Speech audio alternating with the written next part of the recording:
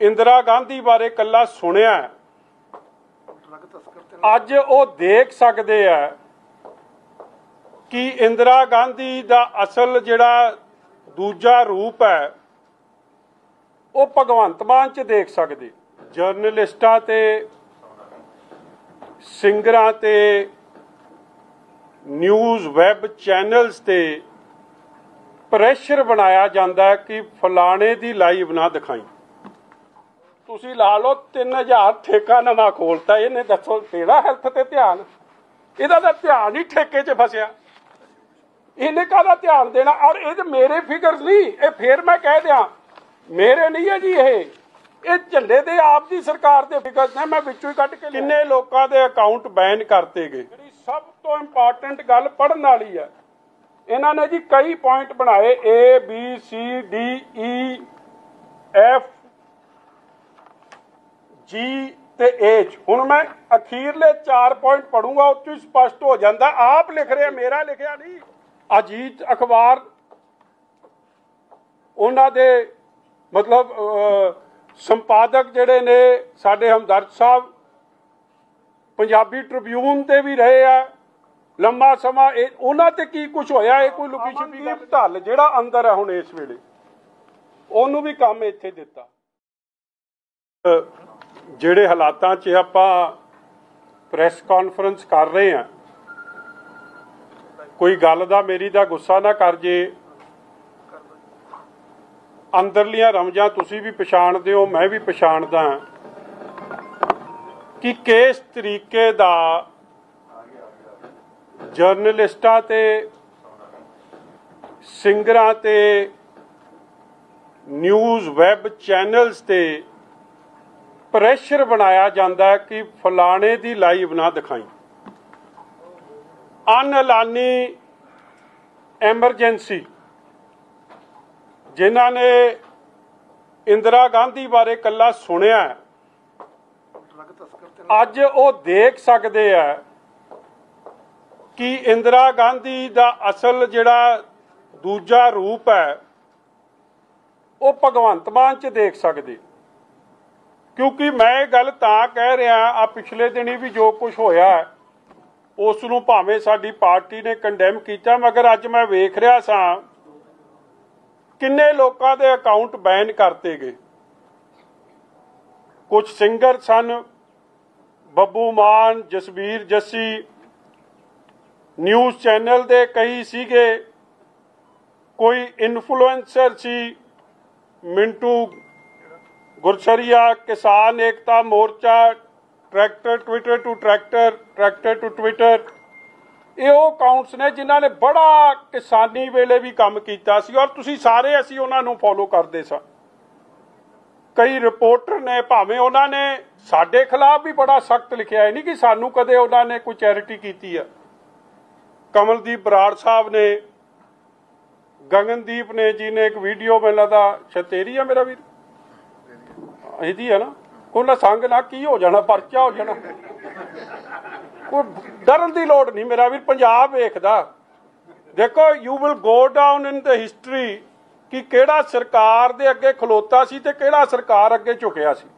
ਨੌ ਤਾਂ ਦੋਵਾਂ ਦੇ ਆਉਣੇ ਆ, ਮਗਰ ਗਿਣਤੀ ਕਰ ਪਛਾਣ ਉਹਨਾਂ ਦੀ ਹੋਣੀ ਜਿਹੜੇ ਅੱਗੇ ਖਲੋ ਗਏ ਸੱਚ ਵਾਸਤੇ। ਸੰਦੀਪ ਸਿੰਘ ਇੰਡੀਪੈਂਡੈਂਟ ਜਰਨਲਿਸਟ ਕੱਲ ਪਰਸੋਂ ਦੀ ਗੱਲ ਆ ਸੁਖਨੈਬ ਸਿੱਧੂ ਸਾਹਿਬ ਉਹਨਾਂ ਨੂੰ ਫੜਿਆ ਸੀ, ਛੱਡਤਾ। ਕਿਉਂ ਇਹਨਾਂ ਇਹ ਹਾਲਾਤ ਕਿਉਂ ਪੈਦਾ ਹੋ ਰਹੇ ਆ? ਇਹ ਹਾਲਾਤ ਸਿਰਫ ਇਸ ਲਈ ਪੈਦਾ ਹੋ ਰਹੇ ਆ ਬਿਕੋਜ਼ ਇਹ ਲੋਕ ਇਹ ਲੋਕ ਸਰਕਾਰ ਨੂੰ ਕੁਐਸਚਨ ਕਰਦੇ ਯਾਰ ਚੌਥੇ ਥੰਮ ਦਾ ਕੰਮ ਕੀ ਹੈ? ਕੁਐਸਚਨ ਕਰਨਾ ਹੀ ਹੈ ਹਾਊ ਵਿਲ ਡੈਮੋਕ੍ਰੇਸੀ ਸਰਵਾਈਵ ਲੋਕਤੰਤਰ ਕਿਵੇਂ ਬਚੂਗਾ ਜੇ ਤੁਸੀਂ ਸਵਾਲ ਹੀ ਨਹੀਂ ਉਠਾ ਸਕਦੇ? ਅਜੀਤ ਅਖਬਾਰ, ਉਹਨਾਂ ਦੇ ਮਤਲਬ ਸੰਪਾਦਕ ਜਿਹੜੇ ਨੇ ਸਾਡੇ ਹਮਦਰਦ ਸਾਹਿਬ, ਪੰਜਾਬੀ ਟ੍ਰਿਬਿਊਨ ਤੇ ਵੀ ਰਹੇ ਆ, ਲੰਮਾ ਸਮਾਂ ਇਹ, ਉਹਨਾਂ ਤੇ ਕੀ ਕੁਝ ਹੋਇਆ, ਇਹ ਕੋਈ ਲੁਕੀ ਛਿਪੀ ਗੱਲ ਨਹੀਂ। ਔਰ ਅੱਜ ਵੀ ਇੱਕ ਜਰਨਲਿਸਟ ਨੇ ਸਵਾਲ ਪੁੱਛ ਲਿਆ ਮੁੱਖ ਮੰਤਰੀ ਸਾਹਿਬ ਨੂੰ ਲਾਅ ਐਂਡ ਆਰਡਰ ਦਾ, ਉਹਦੇ ਨਾਲ ਜੋ ਕੁਝ ਹੋਇਆ। ਚਲੋ, ਆਪ ਹੀ ਅੱਜ ਨਹੀਂ ਹੌਸਲਾ ਕਰਨਗੇ, ਰੱਬ ਮਿਹਰ ਕਰਿਆ ਹੀ ਸਾਰੇ ਉਹਨਾਂ ਨਾਲ ਖਲੋਤੇ ਆ। ਜੇਲ੍ਹ ਭਰੋ ਅੰਦੋਲਨ ਕਰਨਾ ਪਿਆ, ਸਾਰੇ ਭਰਾਂਗੇ, ਘਬਰਾਉਣ ਦੀ ਲੋੜ ਨਹੀਂ, ਮਗਰ ਸੱਚ ਲਈ ਖਲੋਣਾ ਪੈਣਾ। I think it's your job it's your duty ਔਰ ਤੁਸੀਂ ਕੁਐਸਚਨ ਅਕਾਲੀ ਦਲ ਨੂੰ ਕੀਤਾ।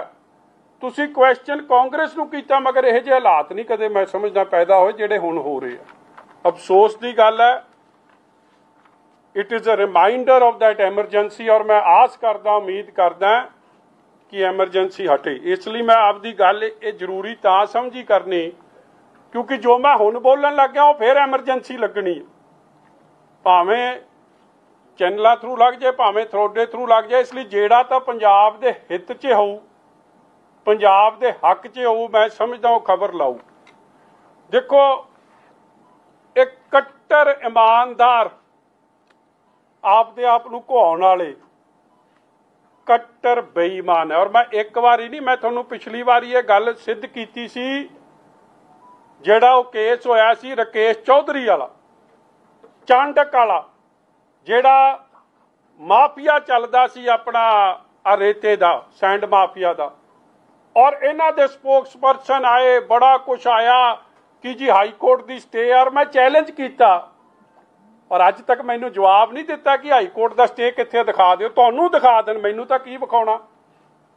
ਅੱਜ ਤੱਕ ਹਾਈ ਕੋਰਟ ਦਾ ਸਟੇ ਨਹੀਂ ਆਇਆ ਔਰ ਅੱਜ ਵੀ as we speak today Rakesh Chaudhary ਨੂੰ ਹਾਈ ਕੋਰਟ ਤੋਂ ਕੋਈ ਪ੍ਰੋਟੈਕਸ਼ਨ ਨਹੀਂ।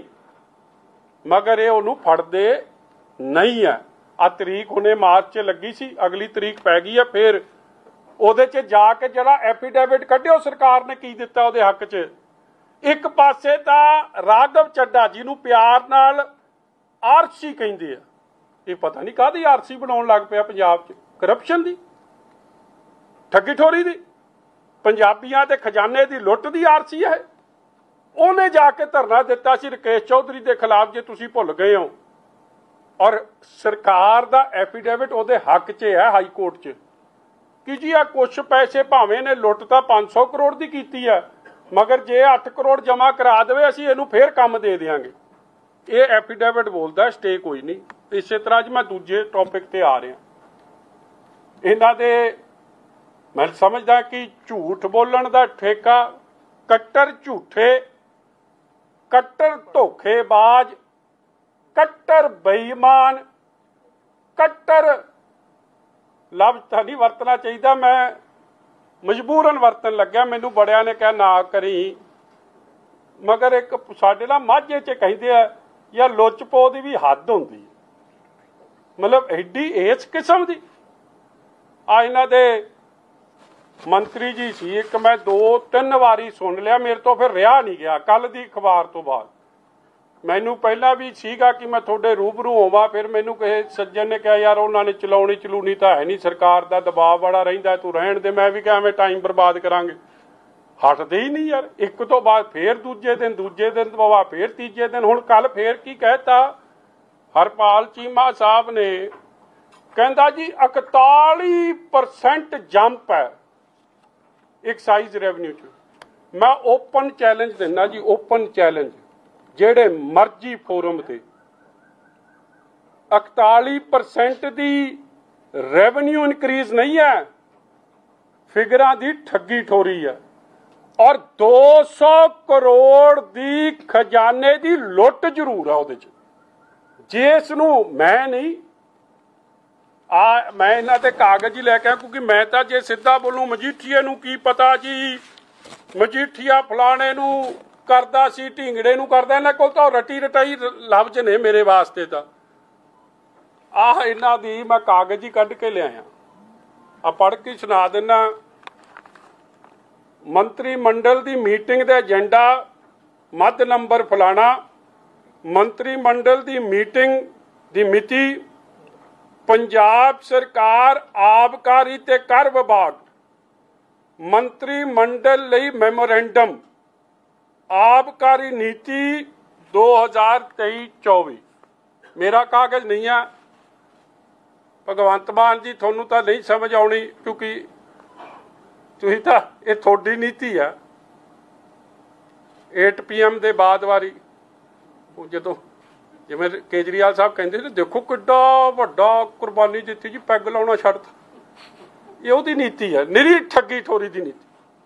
ਔਰ ਮੈਂ ਹੁਣ ਇਹ ਚ ਇਹ ਚੋਂ ਹੀ ਸਾਬਿਤ ਕਰੂੰਗਾ ਇੱਕ ਇੱਕ ਪੇਜ ਤੋਂ ਕਿ ਝੂਠ ਕਿਹੜਾ ਕਿਹੜਾ ਇਹਨਾਂ ਨੇ ਬੋਲਿਆ। ਔਰ ਮੋਰ ਕੌਣ ਲਾਉਂਦਾ ਕਿ ਝੂਠ ਬੋਲਿਆ ਕਿ ਲੁੱਟ ਹੋਈ? ਮੋਰ ਮੈਂ ਨਹੀਂ, ਮੋਰ ਲਾ ਰਹੇ ਤਿੰਨ ਮੰਤਰੀ। ਹਰਪਾਲ ਚੀਮਾ ਸਾਹਿਬ ਆਪ ਇਹਨਾਂ ਦੀ ਇੱਕ ਬਣੀ ਜੀ ਅ, ਆਬਕਾਰੀ ਨੀਤੀ 23-24 ਦੇ ਖਰੜੇ ਦੀ ਪ੍ਰਵਾਨਗੀ ਸੰਬੰਧੀ ਆਬਕਾਰੀ ਨੀਤੀ 23-24 ਦੇ ਖਰੜੇ ਦੀ ਦੇ ਨੂੰ ਵਿਚਾਰ ਕਰਨ ਹਿਤ ਅਤੇ ਇਸ ਉਪਰੰਤ ਖਰੜੇ ਨੂੰ ਪ੍ਰਵਾਨਗੀ ਦੇਣ ਲਈ ਮਾਨਯੋਗ ਮੁੱਖ ਮੰਤਰੀ ਜੀ ਵੱਲੋਂ ਗਰੁੱਪ ਆਫ ਮਿਨਿਸਟਰਸ ਦਾ ਹੇਠ ਲਿਖੇ ਅਨੁਸਾਰ ਗਠਨ ਕੀਤਾ ਗਿਆ। ਉਹ ਕਿਹੜੇ ਕਿਹੜੇ ਨੇ? ਉਹਨਾਂ ਦੀ ਘੁੱਗੀ ਵੀ ਵੱਜੀ ਹੈ ਸਾਈਡ ਤੇ। ਹਰਪਾਲ ਚੀਮਾ, ਕੁਲਦੀਪ ਸਿੰਘ ਢਾਲੀਵਾਲ ਸਾਹਿਬ, ਜਿਹੜੇ ਕਹਿੰਦੇ ਮੇਰਾ ਤਾਂ ਤਾਉਂਤ ਹੀ ਨਹੀਂ। ਹਰਜੋਤ ਸਿੰਘ ਬੈਂਸ ਸਾਹਿਬ, ਇਹਨਾਂ ਨੇ ਆਪ ਹੀ ਘੁੱਗੀ ਮਾਰ ਕੇ ਤਸਦੀਕ ਕੀਤਾ ਕਿ ਵਾਕਈ ਲੁੱਟ ਹੋਈ ਔਰ ਜੋ ਲੁੱਟ ਕਿਹੜੀ? ਮੈਂ ਤਾਂ ਅੱਜ ਪੁੱਛਣਾ ਚਾਹੁੰਦਾ, ਅਸ਼ਵਨੀ ਸ਼ਰਮਾ ਜੀ ਨੂੰ ਭਾਜਪਾ ਦੇ ਪ੍ਰਧਾਨ ਸਾਹਿਬ ਨੂੰ ਇਹ ਕੀ ਚੱਕਰ ਹੈ? ਤੁਹਾਡੇ ਨਾਲ ਵੀ ਕੋਈ ਸੈਟਿੰਗ ਹੋ ਗਈ ਹੈ ਇਹਨਾਂ ਦੀ, ਝਾੜੂ ਵਾਲਿਆਂ ਦੀ? ਇੱਕ ਤੁਹਾਡੇ ਇਸ਼ਾਰੇ ਤੇ ਚੱਲਣ ਲੱਗ ਗਏ ਕਿ ਕੀ ਹੋ ਗਿਆ? ਦਿੱਲੀ ਦਾ ਸਸੋਦੀਆ ਫੜ ਲਿਆ। ਔਰ ਫੜ ਕੇ ਇਹ ਗੱਲ ਕਹੀ ਕਿ ਇਹਨੇ ਜਿਹੜੀ ਐਕਸਾਈਜ਼ ਪਾਲਿਸੀ ਬਣਾਈ ਸੀ, ਉਹਦੇ ਚ ਕਰੋੜਾਂ ਦੀ ਧਾਂਦਲੀ ਕੀਤੀ। ਜਨਾਬ, ਉਸੇ ਬੰਦੇ ਨੇ ਪਾਲਿਸੀ ਇੱਥੇ ਬਣਾਈ। ਔਰ ਇੱਥੇ ਵੀ ਆ ਮੰਤਰੀ ਤਸਦੀਕ ਕਰ ਰਹੇ ਆ। ਕਿ ਕਰੋੜ ਕਰੋੜਾਂ ਦੀ ਧਾਂਦਲੀ ਹੋਈ, ਹੁਣ ਮੈਂ ਪੇਜ ਨੰਬਰ ਚਲੇ ਜਾਵਾਂ, ਕਿਹੜੇ ਕਿਹੜੇ ਪੇਜ 'ਚ ਥੋੜਾ ਬੇਰ ਵਿਦ ਮੀ ਕਿਉਂਕਿ ਇਹ ਟੈਕਨੀਕਲ ਗੱਲ ਹੈ ਮੈਨੂੰ ਸਮਝਾਉਣੀ ਪੈਣੀ ਆ। ਸਭ ਤੋਂ ਪਹਿਲਾਂ ਇਨਕਰੀਜ਼ ਇਨ ਰੈਵਨਿਊ ਮੈਂ ਤੁਹਾਨੂੰ, ਚਲੋ ਮੈਂ ਬਾਅਦ 'ਚ ਆਉਣਾ, ਕਿਉਂਕਿ ਤੁਹਾਡਾ ਇਨਕਰੀਜ਼ ਇਨ ਰੈਵਨਿਊ ਵੱਲ ਪਤਾ ਨਹੀਂ, ਧਿਆਨ ਕਿੰਨਾ ਜਾਣਾ, ਨਹੀਂ। ਸਿੱਧੀ ਠੱਗੀ ਠੋਰੀ ਦੀ ਗੱਲ ਤੇ ਆਉਣਾ। ਤੁਸੀਂ ਹੈਰਾਨ ਹੋ ਜਾਓਗੇ ਕਿ 21 22 ਫਾਈਨੈਂਸ਼ੀਅਲ ਈਅਰ ਕਲੋਜ਼ਿੰਗ ਜਦੋਂ ਕਾਂਗਰਸ ਦੀ ਸਰਕਾਰ ਸੀ, ਉਦੋਂ ਉਹਦੀ ਲਿਸਟ ਚਾਹੀਦੀ ਹੈ ਤੇ ਲਿਸਟ ਦੇ ਦਿਆਂਗਾ। 74 L1 ਸੀਗੇ ਜੀ 74 ਔਰ ਬਾਈ ਨੇਮ ਮੈਂ ਸਾਰੇ ਕਢਾ ਕੇ ਲਿਆਇਆ। ਆ ਲੰਮੀ ਚੌੜੀ ਉਹਦੀ ਲਿਸਟ ਹੈ ਜਸਟ ਹੋਲਡ ਦਿਸ ਪੇਪਰ ਆ ਲੰਮੀ ਚੌੜੀ ਉਹਦੀ ਲਿਸਟ ਹੈ 74 L1s ਆ ਸਾਰਿਆਂ ਦੀ ਲਿਸਟ ਹੈ ਕਾਂਗਰਸ ਵੇਲੇ। ਇਹ ਘਟ ਕੇ ਕਿੰਨੇ ਹੋ ਗਏ? ਜਦੋਂ ਹੁਣ ਸਰਕਾਰ ਬਣੀ ਆਪ ਦੀ, ਇਹ ਕਹਿੰਦੇ ਅਸੀਂ ਮੋਨੋਪੋਲੀ ਤੋੜੀ ਹੈ, ਮੋਨੋਪੋਲੀ ਬਣਾਈ ਇਹਨਾਂ ਨੇ। ਇਹ ਘਟ ਕੇ 7 ਹੋ ਗਏ। Only 7 L1s from 74 reduce to 7 ਔਰ ਜਿਹੜੇ ਲਈ, ਜਿਹੜੇ ਬੰਦੇ ਤੇ ਦਿੱਲੀ ਪਰਚਾ ਹੋਇਆ ਨਾ, ਉਹਦਾ ਨਾਮ ਹੈ ਭਾਈ ਸਾਹਿਬ ਦਾ ਢੱਲ। ਅਮਨਦੀਪ ਢੱਲਾ। ਆ ਆ ਕੀ ਨਾਮ ਇਹੋ ਜਿਹੇ ਕੁਛ। ਅਮਨਦੀਪ। ਆ ਅਮਨਦੀਪ ਢੱਲ ਜਿਹੜਾ ਅੰਦਰ ਹੈ ਹੁਣ ਇਸ ਵੇਲੇ। ਉਹਨੂੰ ਵੀ ਕੰਮ ਇੱਥੇ ਦਿੱਤਾ। ਤੇ ਉਹ ਤੋਂ ਪੈਸੇ ਕਿੰਨੇ ਜਮਾ ਕਰਾਏ L1 ਦੇ? ਉਹਨੂੰ ਇਹ ਦੋ ਬੰਦੇ ਨੇ ਜੀ। ਇੱਕ ਹੈਗੇ ਜੀ ਅਨੰਤ ਵਾਈਨ ਵਾਲੇ ਤੁਸ਼ਾਰ ਚੋਪੜਾ। ਤੇ ਦੂਜਾ ਬ੍ਰਿੰਡਕੋ ਅਮਨਦੀਪ ਢੱਲ। ਜਿਹੜਾ ਮਾਰਚ ਵਿੱਚ ਅਰੈਸਟ ਹੋ ਗਿਆ ਸੀ ਦਿੱਲੀ, ਸਸੋਦੀਆ ਕੇਸ 'ਚ, ਉਹਨੇ ਪਿਛਲੇ ਸਾਲ ਸਰਕਾਰ ਦੇ ਖਜ਼ਾਨੇ 'ਚ 4 ਕਰੋੜ ਰੁਪਈਆ ਜਮ੍ਹਾਂ ਕਰਾਇਆ। ਔਰ ਕਮਾਈ ਕਿੰਨੇ ਦੀ ਕੀਤੀ? 50 ਤੋਂ 60 ਕਰੋੜ ਰੁਪਈਏ ਦੀ। ਦੂਜਾ ਜਿਹੜਾ ਹੈ ਆ ਬ੍ਰਿੰਡਕੋ ਵਾਲਾ ਤੇ ਅਨੰਤ ਵਾਈਨਸ ਵਾਲਾ, ਇਹਨਾਂ ਨੇ ਇਹ ਦੋ L1 ਨੇ, ਦੋ। 50% ਆਫ ਦਾ ਬਿਜ਼ਨਸ ਕੀਤਾ ਐਂਡ 50% ਆਫ ਦਾ ਬਿਜ਼ਨਸ ਆਫ ਪੰਜਾਬ ਬਾਕੀ ਪੰਜਾਂ ਨੇ 50% ਔਰ ਇਸ ਗੱਲ ਦੀ ਤਸਦੀਕ, ਇਹ ਆਪ ਇਹਨਾਂ ਦੇ ਕਾਗਜ਼ ਕਰ ਰਹੇ ਹੈ, ਜਿਹੜਾ ਪਿਛਲੇ ਸਾਲ ਇਹਨਾਂ ਨੇ ਕੁੱਲ L1 ਦਾ ਤੁਸੀਂ ਰੈਵਨਿਊ ਦਾ ਜਾ ਕੇ ਕੱਢ ਲਿਓ 28 ਕਰੋੜ ਰੁਪਈਆ ਜਮਾ ਹੋਇਆ। ਐਤਕੀ ਇਹ ਕਹਿ ਰਿਹਾ ਕਿ ਜੀ ਇਹ ਲਗਭਗ 150 ਕਰੋੜ ਹੋਊ। ਹੁਣ ਮੈਂ ਉਹ ਪੇਜ ਵੀ ਦੱਸ ਦਿੰਨਾ। ਆ ਨੈਕਸਚਰ ਆ ਦਿਖਾ ਦੇ ਯਾਰ ਇੱਕ ਖੋਲ ਦੇ। ਨੈਕਸਚਰ 2 ਖੋਲੀ। ਇਹਦੇ ਚ ਨਹੀਂ ਆ? ਨਹੀਂ ਚਲੋ ਨੈਕਸਚਰ 2 ਖੋਲ ਰਿਹਾ ਜੀ ਮੈਂ ਇਹਨਾਂ ਦਾ। ਹੁਣ ਮੈਂ ਪੜ੍ਹ ਦੇਣਾ ਇਹਨਾਂ ਨੇ ਨੈਕਸਚਰ 2 ਚ ਕੀ ਲਿਖਿਆ ਹੈ।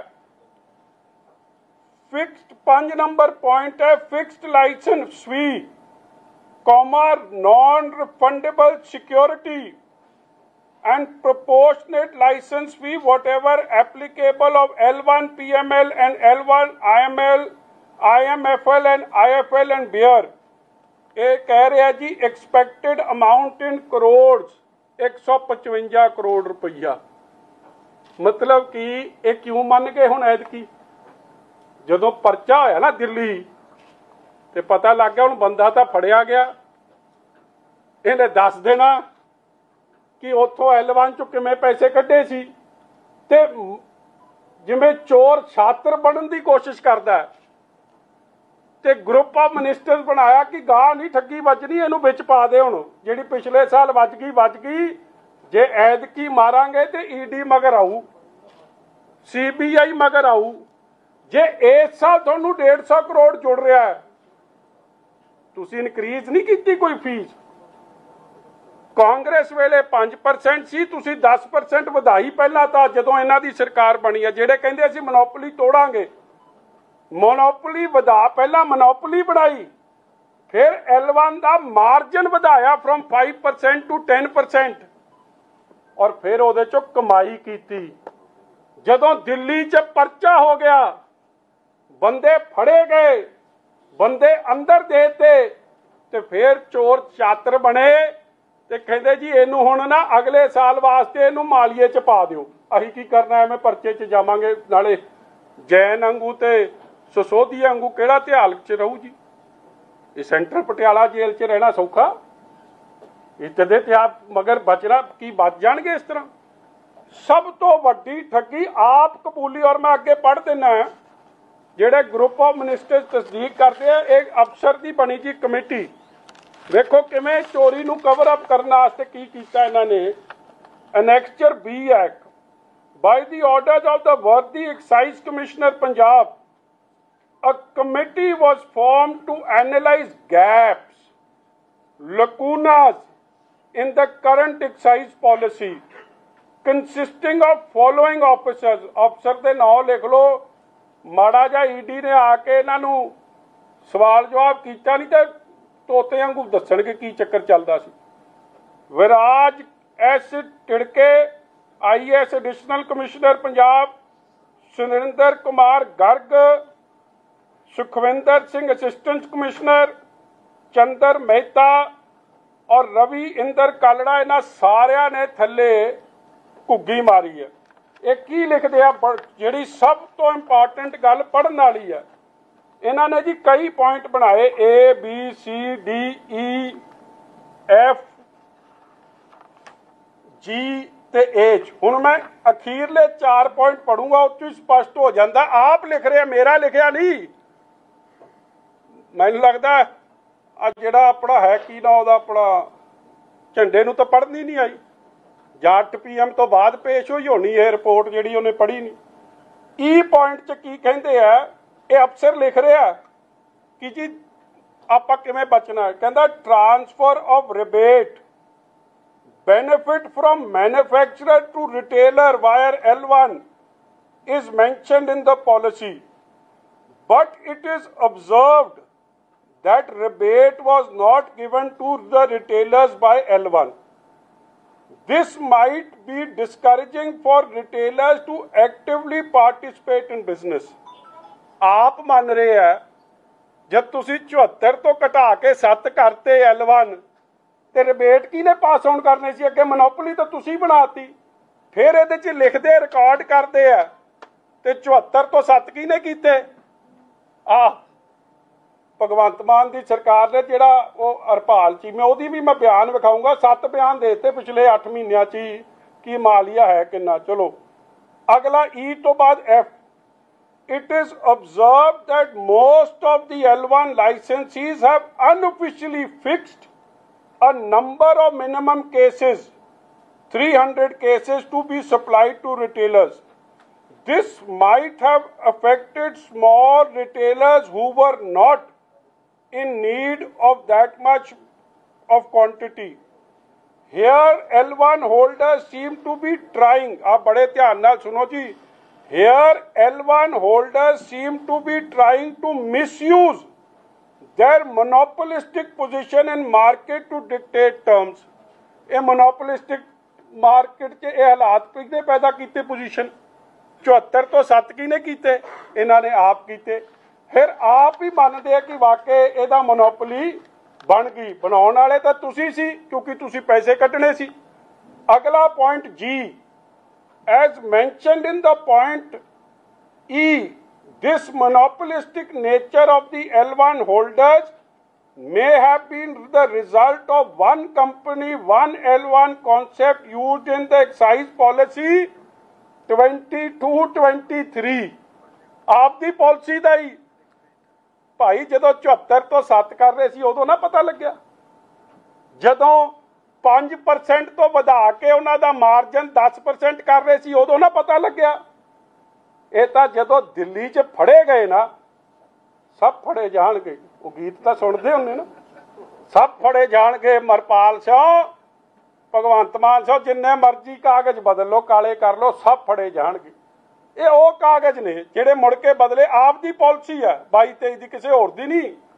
ਅਗਲਾ ਪੁਆਇੰਟ ਇਹ 'ਚ ਲਿਖਦਾ ਹੈ there should be rational while deciding margins for L1 holders and should be backed by foolproof data and sound economic principles ਭਾਈ 5% ਤੋਂ 10% ਇਹਨਾਂ ਦਾ ਮਾਰਜਨ ਤੁਸੀਂ ਕੀਤਾ ਉਦੋਂ ਨਾ ਤੁਹਾਨੂੰ ਸਾਊਂਡ ਇਕਨੋਮਿਕ ਸਮਝ ਆਈ ਇਹ ਪਾਲਿਸੀ ਬਣਦੀ ਕਿਵੇਂ ਆ ਹਰ ਸਾਲ ਪਿਛਲੇ ਸਾਲ ਨਾਲੋਂ ਇਨਫਲੇਸ਼ਨ ਦੇ ਹਿਸਾਬ ਨਾਲ ਇੱਕ ਮਾਰਜਨਲ ਜਿਹੜੀ ਇਨਕਰੀਜ਼ ਹੁੰਦੀ ਹੈ, ਉਹ ਐਡ ਕੀਤੀ ਜਾਂਦੀ ਆਈ ਵਾਰੀ ਪਾਲਿਸੀ 'ਚ।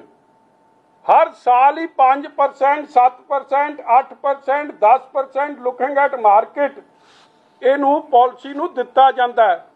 ਤੇ ਇਹਨਾਂ ਨੂੰ ਨਹੀਂ ਪਤਾ ਸੀ ਕਿ ਤੁਸੀਂ ਮਾਰਜਨ ਤਾਂ ਡਬਲ ਕਰਤੇ ਹੋਲਸੇਲਰ L1 ਘਟਾਤੇ, ਸਿਰਫ ਇਸ ਲਈ ਕਿ ਅਸੀਂ ਇਹਨਾਂ ਸੱਤਾਂ ਤੋਂ ਪੈਸੇ ਇਕੱਠੇ ਕਰ ਲਾਂਗੇ। ਜਦੋਂ ਪੈਸੇ ਫੜੇ ਗਏ, ਜਦੋਂ ਦਿੱਲੀ 'ਚ ਸਭ ਨੂੰ ਪਤਾ ਪਾਲਿਸੀ ਬਣੀ, ਜਦੋਂ ਬੰਦੇ ਫੜੇ ਜਾਣ ਲੱਗ ਪਏ, ਫਿਰ ਚਾਤਰ ਬਣ ਗਏ ਤੇ ਕਹਿੰਦੇ ਜੀ ਹੁਣ ਇਹਨੂੰ ਬਦਲ ਲਿਓ।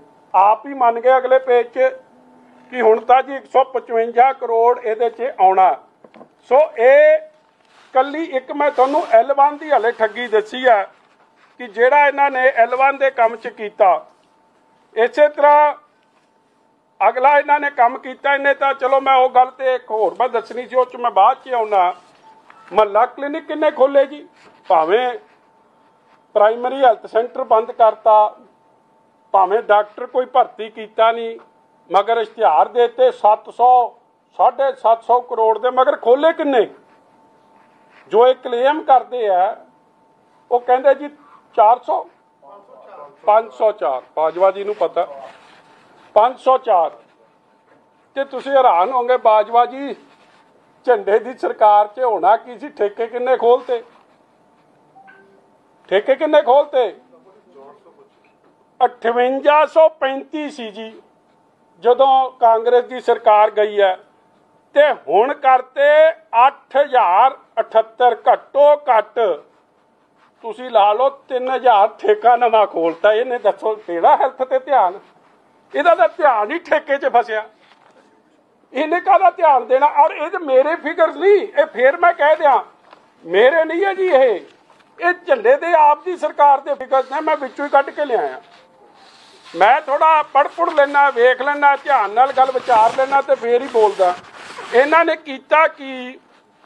ਠੇਕੇ ਵਧਾਤੇ ਜੀ 5835 ਠੇਕੇ ਤੋਂ 8078 ਉਹਦੇ ਚੋਂ ਅੱਗੇ ਉਹ ਛੋਟੇ ਛੋਟੇ ਹੁੰਦੇ ਨਾ ਜਿਹੜੇ ਪਿੰਡਾਂ 'ਚ ਖੋਲ ਦਿੰਦੇ, ਕੀ ਕਹਿੰਦੇ ਉਹਨੂੰ? ਬ੍ਰਾਂਚਾਂ ਬ੍ਰਾਂਚਾਂ। 15 1700 ਤਾਂ ਬ੍ਰਾਂਚਾਂ ਹੀ ਨਵੀਆਂ ਖਿਲਾਤੀਆਂ ਕਿ ਜਾਓ ਮौज ਕਰੋ। ਹੈਲਥ ਸੈਂਟਰ ਇਹਨੇ ਕਾਦੇ ਖੋਲਣੇ ਜਿਹੜੇ ਸ਼ਰਾਬ ਨੂੰ ਇਨਕਰੇਜ ਕਰਨਾ। ਡੋਰ ਡਿਲੀਵਰੀ ਘਰ ਘਰ ਪਹੁੰਚਾਉਣੀ ਦਾ ਤਰੀਕਾ ਅਪਣਾਤਾ ਸਿਰਫ ਇਸ ਲਈ ਕਿ ਸਾਨੂੰ ਜਿਹੜੇ ਪੈਸੇ ਚਾਹੀਦੇ ਨਾ ਗੁਜਰਾਤ ਇਲੈਕਸ਼ਨ ਲੜਨ ਲਈ ਹਿਮਾਚਲ ਇਲੈਕਸ਼ਨ ਲੜਨ ਲਈ। ਹੋਰ ਜਿਹੜੇ ਬਾਕੀ ਸੂਬਿਆਂ ਤੋਂ ਨਹੀਂ ਇਕੱਠੇ ਹੋ ਰਹੇ ਭਾਜਪਾ ਨਾਲ ਲੜਾਈ ਲੜਨ ਲਈ, ਉਹ ਇੱਥੋਂ ਸੌਖੇ ਇਕੱਠੇ ਹੋ ਜਾਣਗੇ ਤੇ ਸਾਰਾ ਜਿਹੜਾ ਨੁਕਸਾਨ ਹੈ, ਉਹ ਪੰਜਾਬੀਆਂ ਦਾ ਇਹਨਾਂ ਨੇ ਸ਼ੁਰੂ ਕਰਤਾ। ਔਰ ਇਹ ਵੀ ਮੇਰੇ ਫਿਗਰਸ ਨਹੀਂ ਜੀ, ਇਹ ਸਰਕਾਰ ਦੇ ਫਿਗਰਸ ਨੇ। ਹਾਂਜੀ? ਆ ਐਜੂਕੇਸ਼ਨ ਤੇ ਵੀ ਮੈਨੂੰ ਲੱਗਦਾ ਇਹਨੇ ਤਾਂ ਸਕੂਲ ਨਹੀਂ ਖੋਲੇ ਹੋਣੇ ਜਿੰਨੇ ਠੇਕੇ ਖੋਲਤੇ ਹੋਰ ਝੰਡੇ ਤੋਂ ਕਾਦੀ ਆਸ ਸੀ? ਦੇਖੋ, ਇਹ- ਹੋਰੇ ਤੋਂ ਆਸ ਵੀ ਕਾਦੀ ਰੱਖੀ ਜਾ ਸਕਦੀ? ਹੁਣ ਮੈਨੂੰ ਤਾਂ ਜਿੰਨਾ ਮਰਜ਼ੀ ਬਲੈਕ ਆਊਟ ਕਰ ਦੇਵੇ, ਜਿੰਨਾ ਮਰਜ਼ੀ ਝੰਡਿਆ ਮੈਂ ਨਹੀਂ ਦਬਨ ਵਾਲਾ, ਜੋ ਮਰਜ਼ੀ ਕਰ ਲਈ ਜਿੱਧਰ ਜ਼ੋਰ ਚਰਦਾ ਜ਼ੋਰ ਲਾ ਦੀ, ਜਿੱਦਣ ਬਹੁਤ ਜਦੋਂ ਜਦੋਂ ਮੌਕਾ ਮਿਲੂ, ਤੇਰਾ ਸਾਹਮਣੇ ਕਰ ਚਿੱਠੇ ਫਰੋਲੂ ਸਾਰੇ। ਔਰ ਮੈਂ ਫੇਰ ਕਹਿ ਦਿਆਂ, ਜਿਵੇਂ ਰਕੇਸ਼ ਚੌਧਰੀ ਦੇ ਕੇਸ 'ਚ ਸੀ ਨਾ not one thing not one thing is out of the documents ਕੋਈ ਚੀਜ਼ ਸੱਜੇ ਖੱਬੇ ਨਹੀਂ ਕੋਈ ਮੇਰੀ ਬਣਾਈ ਨਹੀਂ ਇੱਕ ਇੱਕ fact is backed up by which document group of ministers by committee of excise official ਜਿਹੜੀ ਸਰਕਾਰ ਨੇ ਬਣਾਈ ਆ and by the policy ID policy ਮੈਂ ਤਾਂ ਨਹੀਂ ਛਾਪ ਦੇਣੀ ਸੀ ਜੋ ਇਹਨਾਂ ਦੀ ਪਾਲਿਸੀ ਬਣਾਈ ਆ ਉਹ ਲਿਆ ਹੁਣ ਮੈਂ ਆ ਜਾ ਜੀ ਅਗਲੀ ਗੱਲ ਤੇ ਕਿ ਇਹਨਾਂ ਨੇ ਫਜਿੰਗ ਆਫ ਫਿਗਰ ਦੇ ਕਿੱਡੇ ਬਾਦਸ਼ਾਹ ਨੇ ਅੱਛਾ, ਇੱਕ ਹੋਰ ਠੱਗੀ ਮਾਰੀ ਇਹਨਾਂ ਨੇ। ਵੈਟ ਲੱਗਦਾ ਹੁੰਦਾ ਸੀ।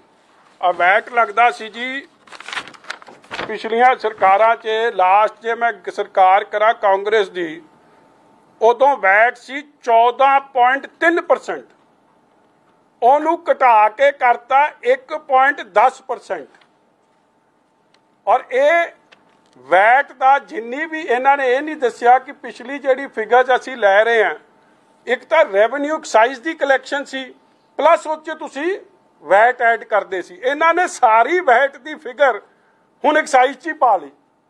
ਮਤਲਬ ਇਹ ਨਹੀਂ ਕਿ ਰੈਵਨਿਊ ਵਧਿਆ, ਹੱਥ ਦੀ ਸਫ਼ਾਈ ਹੋ ਗਈ, ਕੰਨ ਇਤਰਾ ਨਹੀਂ, ਇਤਰਾ ਫੜਨਾ ਕਰ ਲਿਆ। ਮਤਲਬ ਉਹ ਪੈਸੇ ਤਾਂ ਉਹੀ ਨੇ, ਭਾਵੇਂ ਤੁਸੀਂ ਉਹਨੂੰ ਵੈਟ ਦੇ ਹੈੱਡ 'ਚ ਗਿਣ ਲਓ ਤੇ ਭਾਵੇਂ ਉਹਨੂੰ ਐਕਸਾਈਜ਼ ਰੈਵਨਿਊ ਦੇ ਹੈੱਡ 'ਚ ਗਿਣ ਲਓ। ਇਸ ਲਈ ਐਕਚੁਅਲ ਇਨਕਰੀਜ਼ ਐਕਚੁਅਲ ਇਨਕਰੀਜ਼ 41% ਨਹੀਂ ਹੋਈ। ਫਜਿੰਗ ਆਫ ਫਿਗਰਸ ਧੋਖਾਧੜੀ, ਜਿਹਦੇ ਲਈ ਆਪ ਨੂੰ ਅੱਜ ਪਛਾਣ ਲਿਆ ਗਿਆ, ਕੱਟਰ ਝੂਠ ਬੋਲਣਾ, ਕੱਟਰ ਹੱਥ ਦੀ ਸਫ਼ਾਈ, ਜਿਵੇਂ ਚੋਰ ਦੀ ਹੁੰਦੀ ਨਾ ਹੱਥ ਦੀ ਸਫ਼ਾਈ। ਇਹ ਗੱਲ ਵੱਖਰੀ ਹੈ ਮੈਂ ਥੋੜੀ ਕਹਿ ਰਿਹਾ ਚੋਰ ਨੇ। ਮੈਂ, ਲੋਕ ਕਹੀ ਜਾਣ, ਮੈਂ ਨਹੀਂ ਕਹਿ ਰਿਹਾ। ਇਹ ਹੱਥ ਦੀ ਸਫ਼ਾਈ, ਭਾਵੇਂ ਆਪਾਂ ਚੋਰਾਂ ਲਈ, ਮੈਂ ਨਹੀਂ ਕਹਿ ਰਿਹਾ। ਭਾਵੇਂ ਕੋਸ਼ਿਸ਼ ਕਰਦੇ ਇਹ। ਇਹ ਬਣ ਸਕਣ, ਨਹੀਂ ਬਣ ਸਕਣ, ਲੋਕ ਫੈਸਲਾ ਕਰਨਗੇ। ਹਾਂਜੀ ਹਾਂਜੀ, ਵੈਟ ਘਟਾਤਾ। ਦੇਖੋ, ਪਿਛਲੀ ਸਰਕਾਰਾਂ 'ਚ ਕੀ ਹੁੰਦਾ ਸੀ? ਇੱਕ ਐਕਸਾਈਜ਼ ਆਉਂਦਾ ਸੀ ਔਰ ਵੈਟ ਅੱਡ ਆਉਂਦਾ ਸੀ। ਜੋ ਵੀ ਸੀ 14% ਵੈਟ ਆਉਂਦਾ ਸੀ। ਇਹਨਾਂ ਨੇ ਵੈਟ 1.10% ਕਰਤਾ 14 ਤੋਂ। ਮਗਰ ਉਹ ਸਾਰੀ ਚੀਜ਼ ਲੋਡ ਕਰਤੀ ਐਕਸਾਈਜ਼ 'ਚ। ਸੋ ਆਬਵੀਅਸਲੀ ਤੁਸੀਂ ਦਿਖਾ ਦਿਓਗੇ, ਤੁਹਾਡਾ ਮਾਲੀਆ ਵੱਧ ਗਿਆ। ਇਹ ਤਾਂ ਦੱਸ ਦਿਓ ਵੈਟ ਦੇ ਪੈਸੇ ਕਿੱਧਰ ਗਏ? ਹਰ ਚੀਜ਼ 'ਚ ਮੈਂ ਤੁਹਾਨੂੰ ਨਿਰੀ ਦੱਸ ਰਿਹਾ, ਹੱਥ ਦੀ ਸਫ਼ਾਈ। ਹੁਣ ਮੈਂ ਅਗਲੀ ਗੱਲ ਤੇ ਆ ਜਾ ਐਤਕੀ ਕੀ ਹੋਇਆ? ਔਰ ਚਲੋ, ਮੈਂ ਚੀਮਾ ਸਾਹਿਬ ਨੂੰ ਤਾਂ ਨਹੀਂ ਇੰਨਾ, ਹਰ ਸਰਕਾਰ 'ਚ ਹੀ ਥੋੜਾ ਬਹੁਤਾ ਇਹ ਕੰਮ ਚੱਲਦਾ ਜਦੋਂ ਸਰਕਾਰ ਜਾਣ ਲੱਗੀ ਹੁੰਦੀ ਹੈ ਨਾ, ਤੇ ਉਹ ਸਰਕਾਰ ਦਾ ਤੇ ਜਦੋਂ ਨਵੀਂ ਸਰਕਾਰ ਆਉਂਦੀ ਹੈ ਥੋੜਾ ਬਹੁਤਾ ਹਰ ਸਰਕਾਰਾਂ ਹੀ ਆਪ ਦਾ ਚੱਕਰ ਚਲਾ ਜਾਂਦੀ ਮਗਰ ਚੀਮਾ ਸਾਹਿਬ ਨੇ ਤਾਂ ਵਾਧੂ ਕਿੱਲੀ ਨੱਪਤੀ। ਚੀਮਾ ਸਾਹਿਬ ਦੀ ਦੀਆਂ ਦੋ ਤਿੰਨ ਵੀਡੀਓ ਸੁਣਿਓ, ਫਿਰ ਮੈਂ ਇਸ ਅਖੀਰਲੀ ਗੱਲ ਤੇ ਆਉਂਗਾ ਔਰ ਵੀਡੀਓ ਚਲਾ ਦੇ। ਹੁਣ ਪੰਜ ਬਿਆਨ ਨੇ ਜੀ ਚੀਮਾ ਸਾਹਿਬ ਦੇ। ਐਕਸਾਈਜ਼ ਪਾਲਿਸੀ ਦੇ ਰਾਹੀਂ, ਨਵੀਂ ਐਕਸਾਈਜ਼ ਪਾਲਿਸੀ ਦੇ ਰਾਹੀਂ ਪੰਜਾਬ ਦੇ ਖਜ਼ਾਨੇ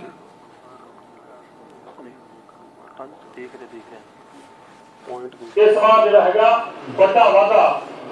ਐਕਸਾਈਜ਼ ਪਾਲਿਸੀ ਦੇ ਰਾਹੀਂ, ਨਵੀਂ ਐਕਸਾਈਜ਼ ਪਾਲਿਸੀ ਦੇ ਰਾਹੀਂ ਪੰਜਾਬ ਦੇ ਖਜ਼ਾਨੇ ਨੂੰ ਹੋਊਗਾ। ਔਰ ਇੱਕ ਮੈਂ ਸਮਝਦਾ ਮੋਨੋਪੋਲੀ, ਇੱਕ ਲੰਬੇ ਸਮੇਂ ਤੋਂ ਜਿਹੜਾ ਕਬਜ਼ਾ ਸੀਗਾ, ਉਹ ਤੋੜਿਆ ਗਿਆਗਾ। ਔਰ 57 50% ਪੰਜ ਸੌਰੀ 57% ਦਾ ਰਿਕਾਰਡ ਸਾਨੂੰ ਮਾਲੀਆ ਪ੍ਰਾਪਤ ਹੋਣ ਦੀ ਜਿਹੜੀ ਉਮੀਦ ਆ ਔਰ ਇਸ ਐਕਸਾਈਜ਼ ਪਾਲਿਸੀ ਦੇ ਰਾਹੀਂ ਆ।